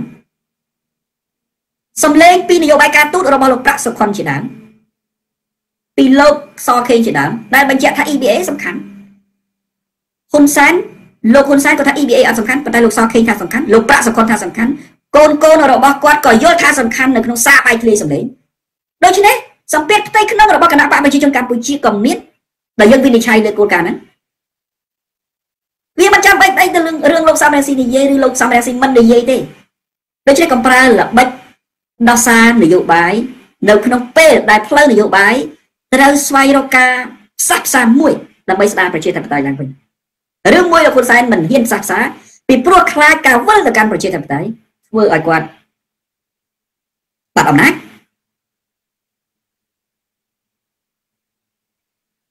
សូម្បីតែពីអាស៊ានណាក៏លោកហ៊ុនសែនមានសម្ពាធដែរនិយាយឲ្យច្បាស់ហើយនេះនិយាយឲ្យច្បាស់ទាំងអស់គ្នាការដែលថៃមិនឲ្យលោកសំរងស៊ីចុះចតនៅប្រទេសថៃនៅទីក្រុងបាងកកវាជាផ្នែកមួយដែលបញ្ជាក់ទៅហើយថាថៃមិនចូលរួមជាមួយនឹងផែនការមិនសុចរិតរបស់លោកហ៊ុនសែនទេ ពីព្រោះពលលោកហ៊ុនសែនចង់ខ្ចីដៃថៃចាប់លោកសំរងស៊ីថៃប្រើវិធីមិនឲ្យលោកសំរងស៊ីចុះចតនៅប្រទេសថៃដើម្បីកិច្ចចេញអំពីនយោបាយខ្ចីដៃរបស់លោកហ៊ុនសែនឃើញទេនោះមិនមែនមានន័យថាអាក្រក់ពេកទេនៅពេលដែលថៃមិនឲ្យលោកសំរងស៊ីចុះចតនៅប្រទេសថៃក៏ជារឿងមួយដែលបញ្ជាក់ថាថៃមិនឲ្យលោកហ៊ុនសែនខ្ចីដៃរបស់គេដើម្បីចាប់លោកសំរងស៊ីទេអានឹងត្រូវយល់ណា លោកហ៊ុនសែនគាត់ត្រូវគាត់ត្រូវពិនិត្យអំពីដំណើរនយោបាយឡើងវិញការដែលប្រទេសម៉ាឡេស៊ីការដែលប្រទេសមួយចំនួនទៀតឧទាហរណ៍ឥណ្ឌូនេស៊ីទទួលលោកសំរងស៊ីឲ្យទៅធ្វើទស្សនកិច្ចវាគឺជារបៀបមួយទៅហើយដែលបញ្ជាក់ថាពួកគេដូចថៃដែរគ្រាន់តែថៃវាមានលក្ខណៈពិសេសរបស់ថៃដែលមិនអោយលោកសំរងស៊ីចុះចត ក៏ប៉ុន្តែពួកគេមានលក្ខណៈភូមិសាស្ត្រដែលគេអាចឲ្យលោកសំរងស៊ីចុះចតបានប៉ុន្តែរឿងពិតមួយ ដែលយើងត្រូវដឹងថាពួកគេអត់ធ្វើតាមក្រមលោកហ៊ុនសែនទេដែលព្យាយាមសម្លាប់ប្រជាធិបតេយ្យតាមរយៈការខ្ចីដៃម៉ាឡេស៊ីឬក៏ខ្ចីដៃឥណ្ឌូនេស៊ីដើម្បីចាប់អ្នកប្រឆាំងគេអាចបានធ្វើរឿងហ្នឹងទេក៏ប៉ុន្តែគេមានសវនកម្មការងារជាមួយអ្នកប្រឆាំងទៅទៀតក្រុមលោកហ៊ុនសែនពេលខ្លះ គាត់យកការបកស្រាយអំពីលក្ខន្តិកៈអាស៊ានដែលគេនិយាយថាមិនជ្រៀតជ្រែកហ្នឹងណាទៅជាយល់ច្រឡំពាក្យថាមិនជ្រៀតជ្រែកនៅក្នុងលក្ខន្តិកៈអាស៊ានមានន័យថាប្រទេសមួយមួយក្នុងសមាជិកអាស៊ាននេះមិនអាចធ្វើតាមសំណើរបស់រដ្ឋសមាជិកផ្សេងទៀតដែលចេះតែស្នើដោយមិនសមហេតុសមផលទេមានន័យថាគេមិនជ្រៀតជ្រែកជាមួយកិច្ចការផ្ទៃក្នុងរបស់កម្ពុជាទេ គឺមានន័យថាគេមិនបញ្ជាឲ្យកម្ពុជាធ្វើអ្វីតាមដែលគេចង់បានទេក៏ប៉ុន្តែកម្ពុជាខ្លួនឯងក៏មិនត្រូវបញ្ជាឬស្នើឲ្យគេធ្វើតាមនៅអ្វីដែលខ្លួនចង់បានដែរទេឧទាហរណ៍ការចាប់នឹងជាដើមឃើញទេជាសិទ្ធិរបស់គេជាសិទ្ធិអធិបតេយ្យភាពរបស់ម៉ាឡេស៊ីដែលសម្រាប់ថាឲ្យចូលឬមិនឲ្យចូលសម្រាប់ថាចាប់ឬមិនចាប់មិនមែនជារឿងដែលគេត្រូវធ្វើតាមប្រទេសកម្ពុជាទេ ហើយនៅក្នុងលក្ខខណ្ឌមួយទៀតការអនុញ្ញាតឲ្យអ្នកប្រឆាំងនៅលើទឹកដីម៉ាឡេស៊ីឬឥណ្ឌូនេស៊ីក្តីក៏មិនមែនជាការជ្រៀតជ្រែកដែរវាជាការសម្រេចរបស់ម៉ាឡេស៊ីរបស់ឥណ្ឌូនេស៊ីដែលពួកគេត្រូវធ្វើនៅក្នុងលក្ខខណ្ឌនៃអធិបតេយ្យភាពរបស់គេទី1ហើយទី2ក្នុងគោលការណ៍អាស៊ានដែលគេនិយាយអំពីការលើកដំកើងប្រជាធិបតេយ្យដូច្នេះវាជាសិទ្ធិរបស់ម៉ាឡេស៊ីជាសិទ្ធិរបស់ឥណ្ឌូនេស៊ីប៉ុណ្ណឹងវាគឺជាភាពអាម៉ាស់ធំមួយហើយដែលក្រុមលោកហ៊ុនសែនត្រូវដឹងថា ពួកគេមិនធ្វើតាម នៅអ្វីដែលជាការចង់បានរបស់លោកហ៊ុនសែនក្នុងការតាមចាប់អ្នកប្រជាធិបតេយ្យនោះទេដូចជាសម្ពាធនឹងវាធំគេសហការក្នុងកម្រិតមួយដែលគ្រាន់តែជាកម្រិតដែលគេអាចសហការបានប៉ុន្តែគេមិនអាចលូកដល់កម្រិតមួយដែលបំផ្លាញប្រជាធិបតេយ្យដោយដែលលោកហ៊ុនសែនធ្វើទេដូច្នេះសម្ពាធទាំងអស់នេះដែលខ្ញុំសូមបញ្ជាក់ សម្ពាធទាំងអស់នេះទៅលើក្រុមលោកហ៊ុនសែនអ្នកណាក៏ដែរសម្ពាធទាំងអស់នេះដែលដាក់ទៅលើក្រុមលោកហ៊ុនសែនហើយជាការលើកដំកើងនៅតម្លៃប្រជាធិបតេយ្យនិងលើកទឹកចិត្តអ្នកប្រជាធិបតេយ្យអ្នកណាក៏ដែរសហគមន៍អន្តរជាតិមកដល់ពេលនេះណាបងប្អូនពិចារណាមិនមែនត្រឹមតែដាក់សម្ពាធលើក្រុមលោកហ៊ុនសែនទេថែមទាំងលើកដំកើងអ្នកប្រជាធិបតេយ្យថែមទៅទៀត ឥឡូវឧទាហរណ៍លើកដំកើងប្រជាធិបតេយ្យនៅត្រង់ណា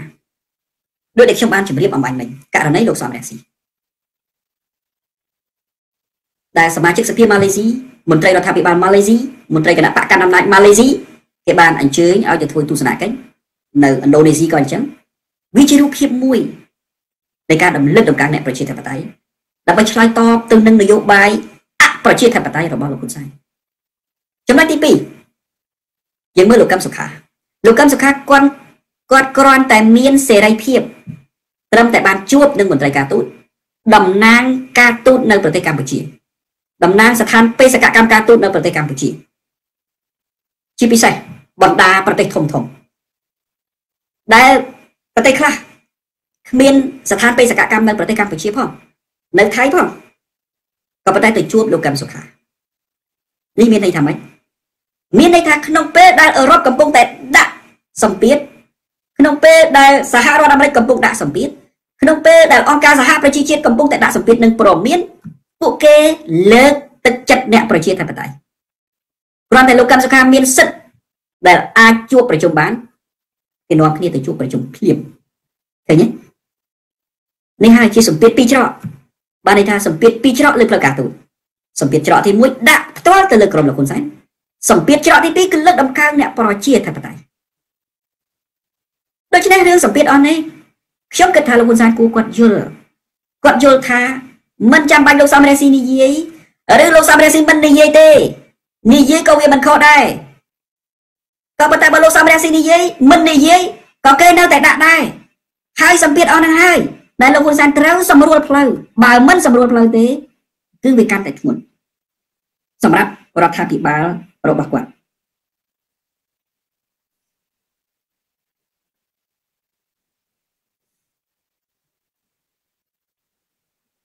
ដូច្នេះដំណើរមកដល់ពេលនេះប្រកែកមិនបានទេហើយលោកហ៊ុនសែនក៏មិនអាចបន្លំសហគមន៍អន្តរជាតិបានដូចមុនមុនដែរពីមុនគេប្រើការវិនិច្ឆ័យលើលោកហ៊ុនសែនខុសដោយសារគេគិតថាលោកហ៊ុនសែនជាមេដឹកនាំប្រទេសម្នាក់ มันអាចធ្វើអ្វីដែលអាក្រក់ពេកបំផ្លាញប្រទេសជាតិរបស់ខ្លួនណាណាបំផ្លាញប្រជាធិបតេយ្យដែលគេខំបណ្ដោះក្រោយកិច្ចព្រមព្រៀងទីក្រុងប៉ារី1993ណាក៏ប៉ុន្តែការប្រើលក្ខណៈវិនិច្ឆ័យរបស់គេក្នុងនាមជាអ្នកការទូតការប្រើលក្ខណៈវិនិច្ឆ័យរបស់គេក្នុងនាមជាអ្នកចេះដឹងដែលរៀនសូត្របានខ្ពស់នោះយកទៅវិនិច្ឆ័យលោកហ៊ុនសែនវាអត់ត្រូវក៏ប៉ុន្តែដល់ដំណាក់កាលនេះហើយគេដឹងច្បាស់ ថាការយកលក្ខណៈវិនិច្ឆ័យរបៀបការទូតការយកលក្ខណៈវិនិច្ឆ័យរបៀបជាអ្នកចេះដឹងទៅវិនិច្ឆ័យលោកហ៊ុនសែនមិនត្រូវទេដូច្នេះវាមានតែវិធីសង្កត់ទេហើយសហគមន៍អន្តរជាតិគេដឹងម្លោះហើយមកដល់ដំណាក់កាលនេះគ្មានអ្វីដែលលោកហ៊ុនសែនអាចបន្លំភ្នែករបស់សហគមន៍អន្តរជាតិបានទេ ការពិតគឺបែបហ្នឹងបន្លំភ្នែករបស់សហគមន៍អន្តរជាតិមិនបានទេក៏ប៉ុន្តែ ដំណើរនយោបាយក៏មិនទៀងពេកណាស់ណាដែរដូចដែលយើងឃើញហើយចរិតរបស់លោកហ៊ុនសែនដូចអ្នកការទូតប្រចាំប្រទេសមួយចំនួននិយាយអញ្ចឹងគឺនយោបាយខ្មោចចេញខ្មោចចូលអារម្មណ៍គាត់ល្អទៅតាមអារម្មណ៍ល្អអារម្មណ៍គាត់មិនល្អទៅតាមអារម្មណ៍គាត់មិនល្អប៉ុន្តែរឿងដែលច្បាស់មួយទោះបីអារម្មណ៍ល្អអារម្មណ៍មិនល្អការប្រែប្រួលនយោបាយរបៀបណាគឺគាត់ធ្វើនៅក្នុងរបបមួយ ដែលគាត់អាចការពារអំណាចរបស់គាត់បាននេះត្រូវច្បាស់គាត់ត្រូវធ្វើរបបមួយ ដែលគាត់នៅតែអាចការពារអំណាចរបស់គាត់បានហើយអ្នកប្រជាធិបតេយ្យគួរតែយល់អំពីចំណុចហ្នឹង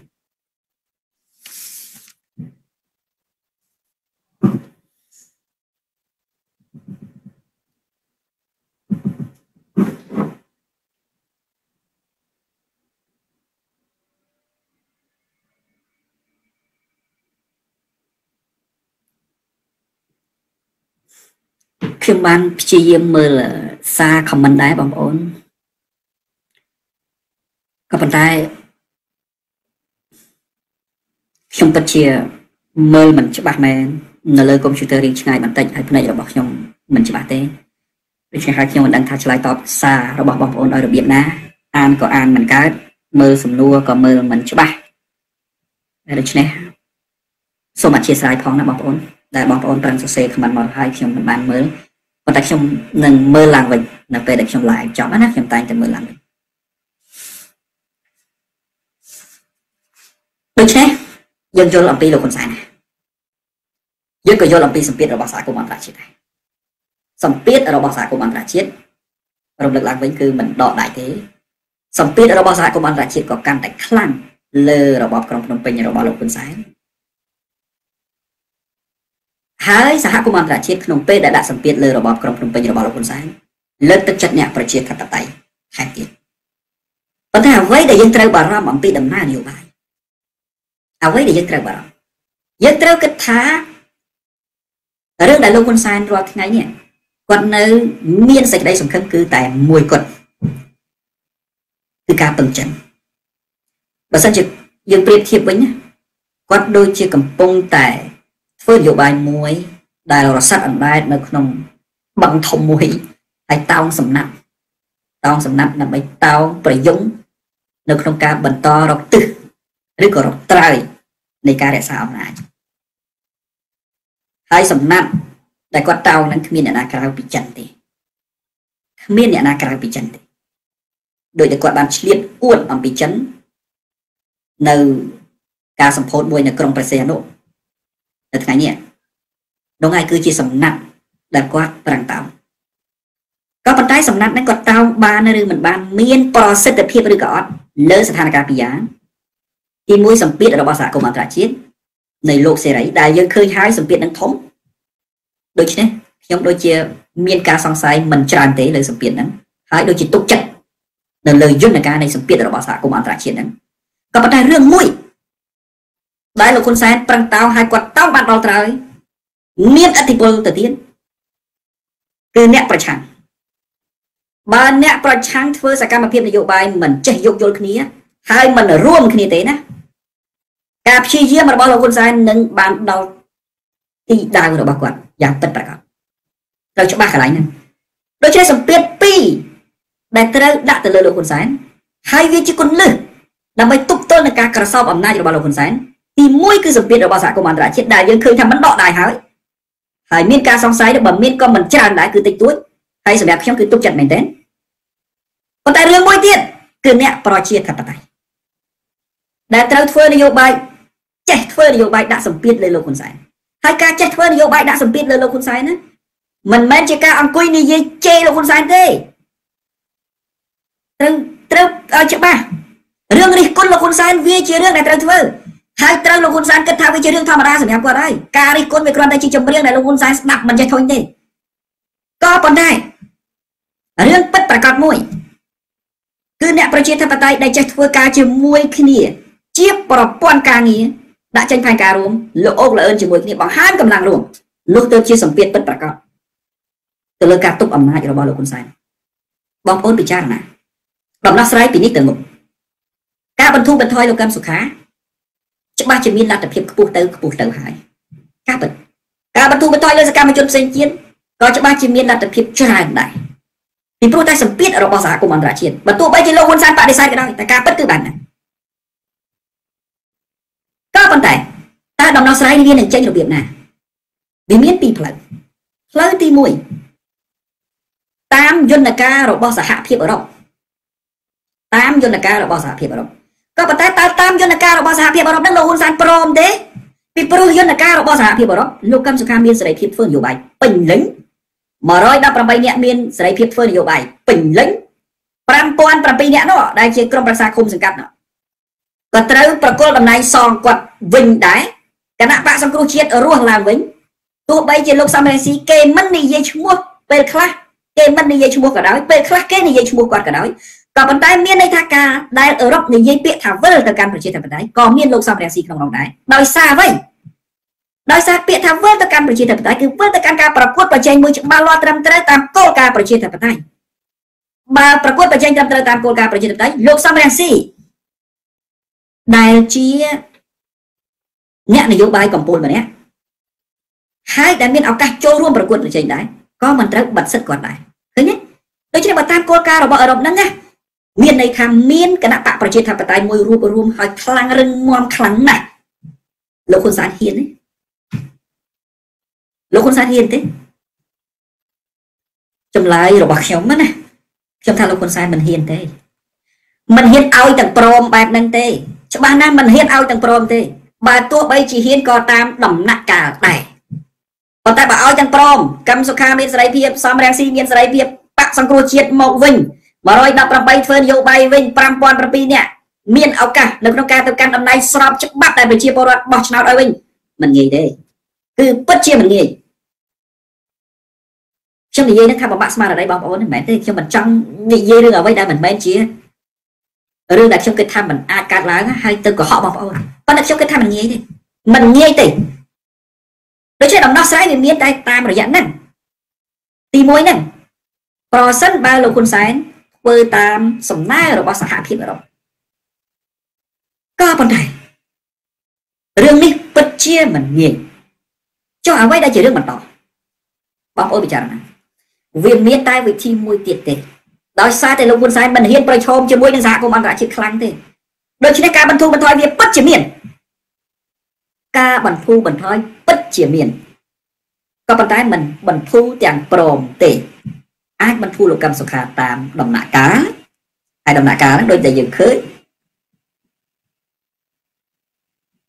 បន្ធូរដូចជាលែងគាត់ពីគុកមកឃុំក្នុងផ្ទះ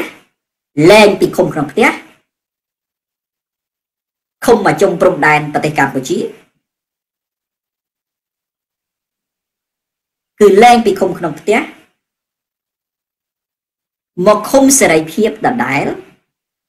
ក៏ប៉ុន្តែបើសេរីភាពដែរហើយនៅក្នុងប្រទេសតែឃុំសេរីភាពធ្វើនយោបាយហើយអ្នកនយោបាយឃុំសេរីភាពធ្វើនយោបាយគឺចប់ហើយប៉ុន្តែគេនឹងបន្ធូរទៅទៀតខ្ញុំយល់ថាគេនឹងបន្ធូរបន្ថយទៅទៀតហើយការបន្ធូរបន្ថយនេះវាចាប់ផ្ដើមពីបន្ធូរបន្ថយលោកកឹមសុខាបន្ធូរបន្ថយលើករណីមួយចំនួនទៀតហើយបើទោះបីជាដំណោះស្រាយនោះគេឲ្យសង្គ្រោះជាតិមកវិញឬក៏គេមិនឲ្យសង្គ្រោះជាតិមកវិញ បងប្អូនគួរពិចារណាណាថាវានឹងចេញផ្លូវដែលគេធ្វើតាមដំណាក់កាលជាបន្តបន្ទាប់តាមលំដាប់ដែលគេអាចរក្សាអំណាចបានហើយធ្វើឲ្យគណៈបកប្រឆាំងយល់ច្រឡំនឹងគ្នាដូច្នេះប្រយ័ត្នប្រយែងមែនទែនប្រយ័ត្នប្រយែងនៅក្នុងដំណាក់នេះផ្លូវវានឹងចេញតាមសេណារីយ៉ូទី2ហ្នឹងហើយគឺវិធីទី2ហ្នឹងហើយ ពីព្រោះលោកហ៊ុនសែនដឹងច្បាស់ណាស់ថាប្រសិនបើលក្ខខណ្ឌរបស់ EBA ឲ្យត្រូវតែគាត់អនុវត្តទាំងព្រមហើយធ្វើឲ្យគាត់បាត់អំណាចគាត់មិនធ្វើទេគាត់ច្បាស់ជាមិនធ្វើទេក៏ប៉ុន្តែប្រសិនបើមានការជជែកចរចាណាមួយឧបមាថាអនុសាសន៍របស់លោកហ្សំបាទីដែលគាត់និយាយថាឲ្យវិលទៅកាន់វប្បធម៌ចរចាគ្នាឡើងវិញឬសហគមន៍អន្តរជាតិអីហ្នឹង អាពាក្យថាវប្បធម៌ចរចាហ្នឹងហើយវាជាផ្លូវមួយទៀតដែលបញ្ជាក់ថាគេនឹងប្រើវិធីហ្នឹងដើម្បីបន្ធូរបន្ថយតាមដំណាក់កាលมันអាចឲ្យទាំងព្រមបានទេខ្ញុំគ្រាន់តែមានយោបល់ថានៅពេលដែលគេបន្ធូរបន្ថយតាមដំណាក់កាលរបៀបនេះនេះច្បាស់ជាគេបើកមួយគេបាត់មួយហើយបងប្អូនច្បាស់ជាគេបើកមួយគេបាត់មួយហើយដើម្បីឲ្យអ្នកប្រឆាំងយល់ច្រឡំនឹងគ្នា ក្នុងករណីនេះច្បាស់ជាគេបើកលោកកម្មសុខាដើម្បីឲ្យមានវប្បធម៌មួយជជែកគ្នាឡើងវិញដោះស្រាយបញ្ហានយោបាយឡើងវិញហើយគេបិទលោកសំរងស៊ីមួយឡែកសិននៅពេលនោះណាបើអ្នកសំរងស៊ីនិយមមិនយល់នឹងចោទលោកកម្មសុខាថាគាត់ក្បត់តាមពិតមិនមែនគាត់ក្បត់ទេគេហៅថាដំណើរនៃស្ថានភាពនយោបាយហើយសូម្បីតែសហភាពអឺរ៉ុប ក៏គេមិនដឹងជួយយ៉ាងម៉េចបានក្រៅពីសម្របសម្រួលដែរគេអត់ជួយអ្វីបានក្រៅពីសម្របសម្រួលទេសហភាពអឺរ៉ុបគេដាក់គោលការណ៍ថាត្រូវព្រមទៅលើអ្វីដែលជាមូលដ្ឋានដែលគេដាក់ចេញប៉ុន្តែគេបានប្រើពាក្យមួយដែរថាឲ្យមានការប្រែប្រួលជាវិជ្ជមានក្នុងរយៈពេល1ខែតែការប្រែប្រួលជាវិជ្ជមាននោះប៉ុណ្ណាអានេះយើងត្រូវយល់ការប្រែប្រួលជាវិជ្ជមាននោះប៉ុណ្ណាពាក្យរបស់គេមួយពាក្យមួយទៀតគឺវប្បធម៌សន្ទនាគ្នាឡើងវិញដើម្បីដោះស្រាយបញ្ហានយោបាយកម្ពុជា ដូច្នេះវានឹងមានការបន្ធូរបន្ថយតាមលំដាប់មិនចេញទាំងព្រមទេអត់ចេញទាំងព្រមទេអ្វីដែលខ្ញុំបារម្ភគឺកាលណាវាមិនចេញទាំងព្រមនឹងហើយដែលធ្វើឲ្យគណៈបកប្រឆាំងកាន់តែវល់ជាពិសេសពួកអ្នកនិយមជ្រុលនៃបកុលនឹងវាយគ្នាអូសំរងស៊ីសំទោសអ្នកសំរងស៊ីនិយមខ្លះថាអូលោកកម្មសខាលក់ខ្លួនណាតាមពិតវាមិនមែនជារឿងលក់ខ្លួនទេបើយើងមើលសារការនយោបាយវាជារឿងដែលត្រូវដោះស្រាយនយោបាយតាមដំណាក់កាល អានោះយើងច្បាស់កន្លែងហ្នឹងណាជារឿងដែលត្រូវដោះស្រាយនយោបាយតាមដំណាក់កាលហើយវាកើតឡើងអញ្ចឹងវាអត់មានបញ្ហានយោបាយណាមក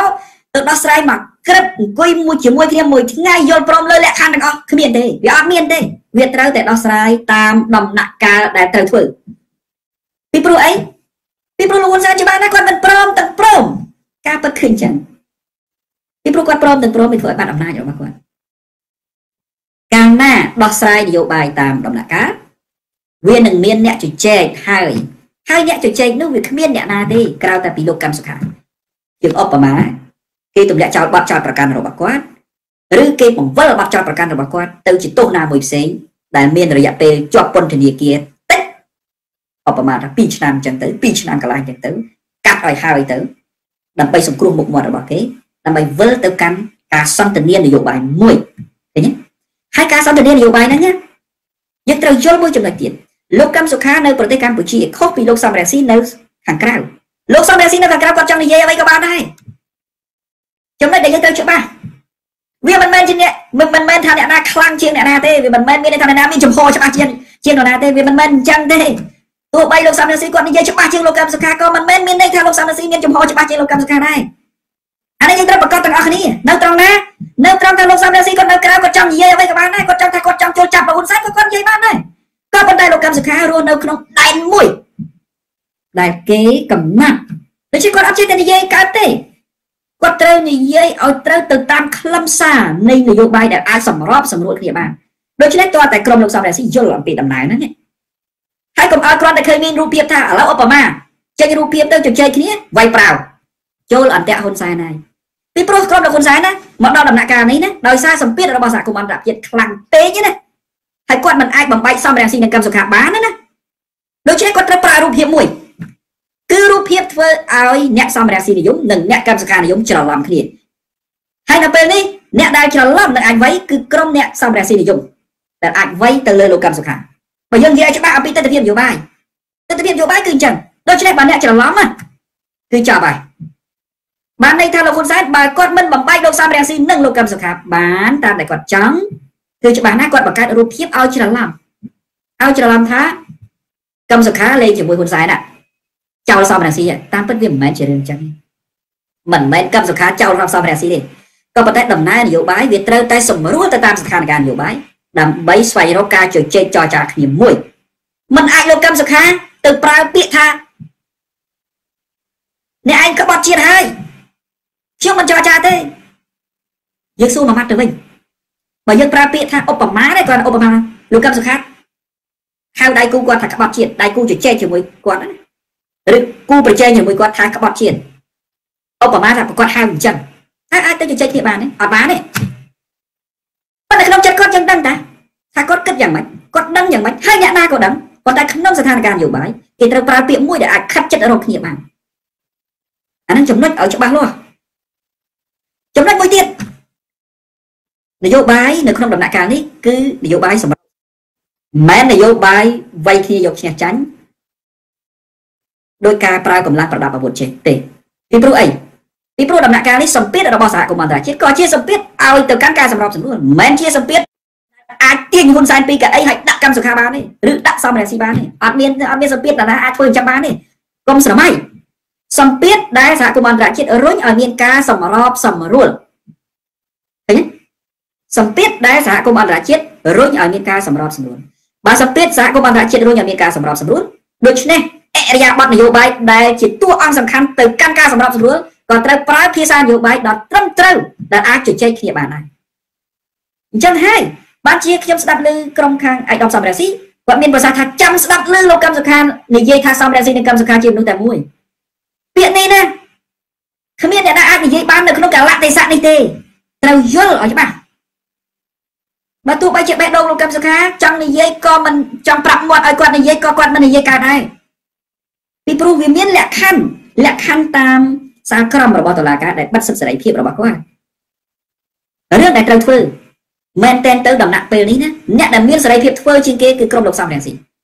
គឺធ្វើឲ្យខ្លឹមសារកម្មសុខានិងសំរងស៊ីជាមនុស្សទៅមួយនោះคล้ายទៅជាការប្រតិបត្តិជាក់ស្ដែងคล้ายទៅជាការប្រតិបត្តិជាក់ស្ដែង បង្ហាញនៅមនោសញ្ចេតនាអនុគ្រោះជាក់ស្ដែងបង្ហាញនៅខ្លឹមសារមួយដែលគ្រប់គ្រងដំណើរនៃការសម្របសម្រួលដែលលោកកឹមសុខាត្រូវដាក់មុខនៅក្នុងការធ្វើជាក់ស្ដែងទៅដំណើរប្រជាធិបតេយ្យនេះទៅមុខរួចហើយបើអង្គុយសង្ស័យលើលោកកឹមសុខាណាគឺស្មើនឹងចាញ់ល្បិចនយោបាយរបស់លោកហ៊ុនសែន100%ហើយខ្ញុំខ្ញុំមិនមែនជាកម្មសុខាទេហើយក៏មិនត្រូវការពីលោកកម្មសុខាដែរ ក៏ប៉ុន្តែខ្ញុំមើលការវិវត្តនយោបាយលោកកម្មសុខាមិនអាចលក់ខ្លួនទេគាត់មិនលក់ខ្លួនទេពីព្រោះបើគាត់លក់ខ្លួនគាត់លក់យូរហើយគាត់លក់អីទៅពេលហ្នឹងគាត់លក់អីទៅពេលហ្នឹងប៉ុន្តែដំណើរនយោបាយវាមានលក្ខណៈប្រតិក្រឡាគ្នាបងប្អូនប្រតិក្រឡាគ្នាគឺប្រតិក្រឡាជាពិសេសគឺអំណាចរបស់លោកហ៊ុនសែនដែលគាត់មិនចេះតែប្រឡែងទេដូច្នេះត្រូវការសម្របសម្រួលខ្លាំងណាស់ដើម្បីទម្លុះទម្លាយភាពតច្រកនឹងបានហើយវិធីតែមួយគត់ដើម្បីអាច ទប់ទល់នឹងការក្រសោបអំណាចរបស់លោកហ៊ុនសែនបានគឺអ្នកសំរាសីនិយមក្តីអ្នកកម្មសុខានិយមក្តីបន្ថយពាក្យលៀបពណ៌លើគ្នាបន្ថយពាក្យរិះគន់គ្នាបន្ថយគំនិតអស្មិមានះរវាងគ្នាជាពិសេសក្រុមលោកសំរងស៊ីដែលមានសេរីភាពដឹកនាំឲ្យលោកសំរងស៊ីដែលមានសេរីភាពនិយាយអ្វីក៏បានត្រូវគិតថាតើគួរនិយាយពាក្យត្រឹមណាដែលអាចរក្សានៅទំនាក់ទំនងរវាងគ្នាហើយត្រូវរៀបបណ្ដាញរបៀបម៉េចដើម្បីអាចតាក់ទងគ្នាយកចិត្តគ្នា នៅមុនពេលដែលស្ថានភាពនយោបាយមួយត្រូវដោះស្រាយវិលទៅកាន់ការមានបកមួយដែលប្រកួតប្រជែងជាមួយនឹងគណៈបកប្រជាជនកម្ពុជាតើច្បាស់កន្លែងហ្នឹងណាបើអត់ច្បាស់កន្លែងហ្នឹងទេ ចូលអន្ទាក់របស់លោកហ៊ុនសែនហើយជិះមិនផុតទេ ចូលអន្ទាក់របស់លោកហ៊ុនសែនខ្ញុំស្ដាប់ប្រសាសន៍របស់លោកសំរងស៊ីគាត់មានប្រសាសន៍ថាពេលដែលលោកកឹមសុខាមានសេរីភាពពេញលេញចេញមកក្រៅប្រទេស អឺនិយាយជាមួយសំរងស៊ីគាត់នឹងផ្ទេអំទួនាទីឲ្យភ្លាមខ្ញុំគិតថាអញ្ចេះបើយើងធ្វើសម្ព័ន្ធភាពរវាងគ្នាណាមិនមែនជាការដាក់លក្ខខណ្ឌរវាងគ្នា នៅពេលដឹងថាដៃគូរបស់យើង កំពុងតែជាប់ចំណងដែលពិបាកដោះនោះទេគេមិនដាក់លក្ខខណ្ឌអញ្ចឹងទេបើយើងចង់រស់នៅជាមួយគ្នាយើងចង់ធ្វើការជាមួយគ្នា គឺការស្វែងរកការយល់ចិត្តគ្នា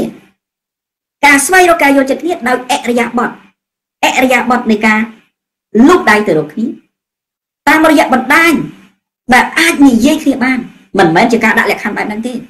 ពីព្រោះអីពីព្រោះលោកកឹមសុខាសិទ្ធិរបស់គាត់ដែលនឹងចេញទៅប្រទេសក្រៅពេលណាក៏យើងមិនដឹងច្បាស់ហើយសេរីភាពរបស់គាត់ដែលធ្វើនយោបាយឡើងវិញកម្រិតណាក៏យើងអត់ដឹងច្បាស់ គ្មានអ្នកណាមួយដឹងច្បាស់ទេពីព្រោះលោកហ៊ុនសែនយើងដឹងថាគាត់ពិតជាបន្ធូរប៉ុន្តែបន្ធូរកម្រិតណាមួយគឺគាត់គិតមើលថាតើអំណាចរបស់គាត់ធ្លាក់ឬអត់គាត់មិនចេះតែបន្ធូរទេម្ល៉េះហើយខាងក្រុមលោកសំរងស៊ីក្តីខាងក្រុមលោកកំសខាក្តីមិនគួរណាដាក់លក្ខខណ្ឌរវាងគ្នានៅក្នុងសម្ព័ន្ធភាពទេប៉ុន្តែគួរតែបង្កើតបណ្ដាញក្នុងការតាក់ទងគ្នាដើម្បីយល់ចិត្តគ្នាទៅវិញយើងថាចុះអឺរ៉ុបដាក់លក្ខខណ្ឌជាមួយនឹងហ៊ុនសែននោះខុសគ្នា អឺរ៉ុបដាក់លក្ខខណ្ឌជាមួយនឹងហ៊ុនសែនពីព្រោះអឺរ៉ុបជួយប្រទេសកម្ពុជាហើយឲ្យលោកហ៊ុនសែននឹងអនុវត្តឲ្យបានត្រឹមត្រូវនៅលក្ខខណ្ឌរបស់អឺរ៉ុបដើម្បីគេអាចជួយប្រទេសកម្ពុជាបានប៉ុន្តែរវាងក្រុមលោកកឹមសុខានិងក្រុមលោកសំរងស៊ីមិនមានក្រុមណាជួយក្រុមណាទេគឺត្រូវធ្វើការជាមួយគ្នាដើម្បីជួយប្រជាធិបតេយ្យញ៉ែច្បាស់មិនមែនក្រុមសំរងស៊ីទៅជួយក្រុមលោកកឹមសុខាមិនមែនក្រុមកឹមសុខាទៅជួយក្រុមលោកសំរងស៊ីទេក៏ប៉ុន្តែគឺក្រុមទាំងពីរនេះត្រូវធ្វើនយោបាយប្រជាធិបតេយ្យមួយរួមគ្នាដោយការអនុគ្រោះគ្នាហើយបើយើងល្អណា រួមគ្នាជាមួយនឹងបកនយោបាយផ្សេងផ្សេងទៀតទោះបីជាមានកម្លាំងតិចក៏ដោយធ្វើការជាក្រុមរួមគ្នាដើម្បីឲ្យកម្លាំងប្រជាធិបតេយ្យនេះខ្លាំងអានេះបាត់ទៅមករួចបើយើងនៅដាក់លក្ខខណ្ឌគ្នាទៅវិញទៅមកនៅពេលដែលយើងដឹងថាដៃគូរបស់យើងស្ថិតនៅក្រោមការគៀបសង្កត់របស់គេហើយហ្នឹងវាគឺជាការបង្ខំឲ្យដៃគូមួយឈឺចាប់ទៅវិញទេព្យាយាមព្យាយាមយល់អំពីស្ថានភាពជាក់ស្ដែងនៃនយោបាយបើអ្នកមិនព្យាយាមយល់អំពីស្ថានភាពជាក់ស្ដែងនៃនយោបាយទេណាអ្នកនឹងចូលអន្ទាក់របស់គូប្រជែងរបស់អ្នកដោយមិនដឹងខ្លួន នេះជាការពិតនៅក្នុងសារការនយោបាយដូច្នេះឈប់ទៅនយោបាយលៀបពណ៌ឈប់ទៅនយោបាយផ្សព្វផ្សាយអំពីការសង្ស័យឈប់ទៅនយោបាយប្រឌិតឈប់ទៅនយោបាយមួលបកាច់ក៏ប៉ុន្តែបង្កើតឡើងវិញនៅនយោបាយទុនភ្លុន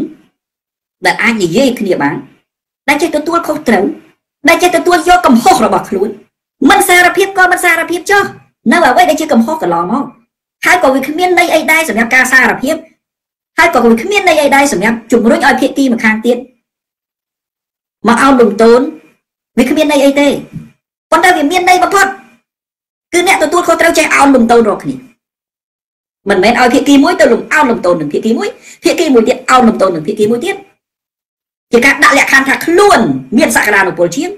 អ្នកនោះមានសក្តានុពលតិចជាងមិនមែនចឹងទេ យើងត្រូវដឹងថាសក្តានុពលដើម្បីជួយជាតិបានគឺសក្តានុពលរួមគ្នាជារួមអ្នកណាមានសក្តានុពលជាងយើងអាចដឹងក៏ប៉ុន្តែសក្តានុពលជាងរបស់អ្នកมันអាចជួយសង្គ្រោះប្រទេសកម្ពុជាបានទេវាទាល់តែអ្នករួមគ្នានេះជាការពិតនៅក្នុងស្ថានភាពនយោបាយជាក់ស្ដែងនៅប្រទេសកម្ពុជាដូច្នេះខ្ញុំមានតែចំណុចប៉ុណ្ណឹង ចំណុចដែលខ្ញុំសង្ខេបចុងក្រោយគឺសម្ពាធរបស់សហគមន៍អន្តរជាតិមានហើយសម្ពាធរបស់សហគមន៍អន្តរជាតិខ្លាំងហើយសម្ពាធនេះធ្វើឲ្យក្រុមលោកហ៊ុនសែនជ្រួលច្របល់មែនហើយក៏ប៉ុន្តែប្រយ័ត្នឲ្យមែនទែននៅពេលដែលដំណាក់កាលដែលត្រូវដោះស្រាយជាបន្តបន្ទាប់ក្រុមលោកហ៊ុនសែននឹងលេងលបាយបន្ធូរបន្តិចម្ដងបន្ធូរបន្តិចម្ដងពីព្រោះគាត់មិនអាចបន្ធូរជាសំណុំតាមលក្ខខណ្ឌរបស់អឺរ៉ុបធ្វើឲ្យបាត់អំណាចរបស់គាត់ទេគាត់នឹងបន្ធូរបន្តិចម្ដងបន្តិចម្ដងដើម្បីស្ទង់មើលអឺរ៉ុបផងហើយដើម្បីបំបែកកម្លាំងអ្នកសង្គ្រោះជាតិផង ដូច្នេះអ្នកសង្គ្រោះជាតិខ្លួនឯងគួរយល់ឲ្យបានច្បាស់អំពីអ្វីដែលត្រូវធ្វើការរួមគ្នាដោយការអនុគ្រោះគ្នាមិនមែនជាការដាក់លក្ខខណ្ឌទៅរកគ្នាមុនដោយមិនយល់អំពីស្ថានភាពនយោបាយជាក់ស្ដែងនោះទេបាទខ្ញុំសូមជម្រាបលាប៉ុណ្ណឹងហើយដោយនិយាយភ្លេចមើលមកដូច្នេះលើកមកបន្តិចហើយសូមអរគុណច្រើនបងប្អូនបាទ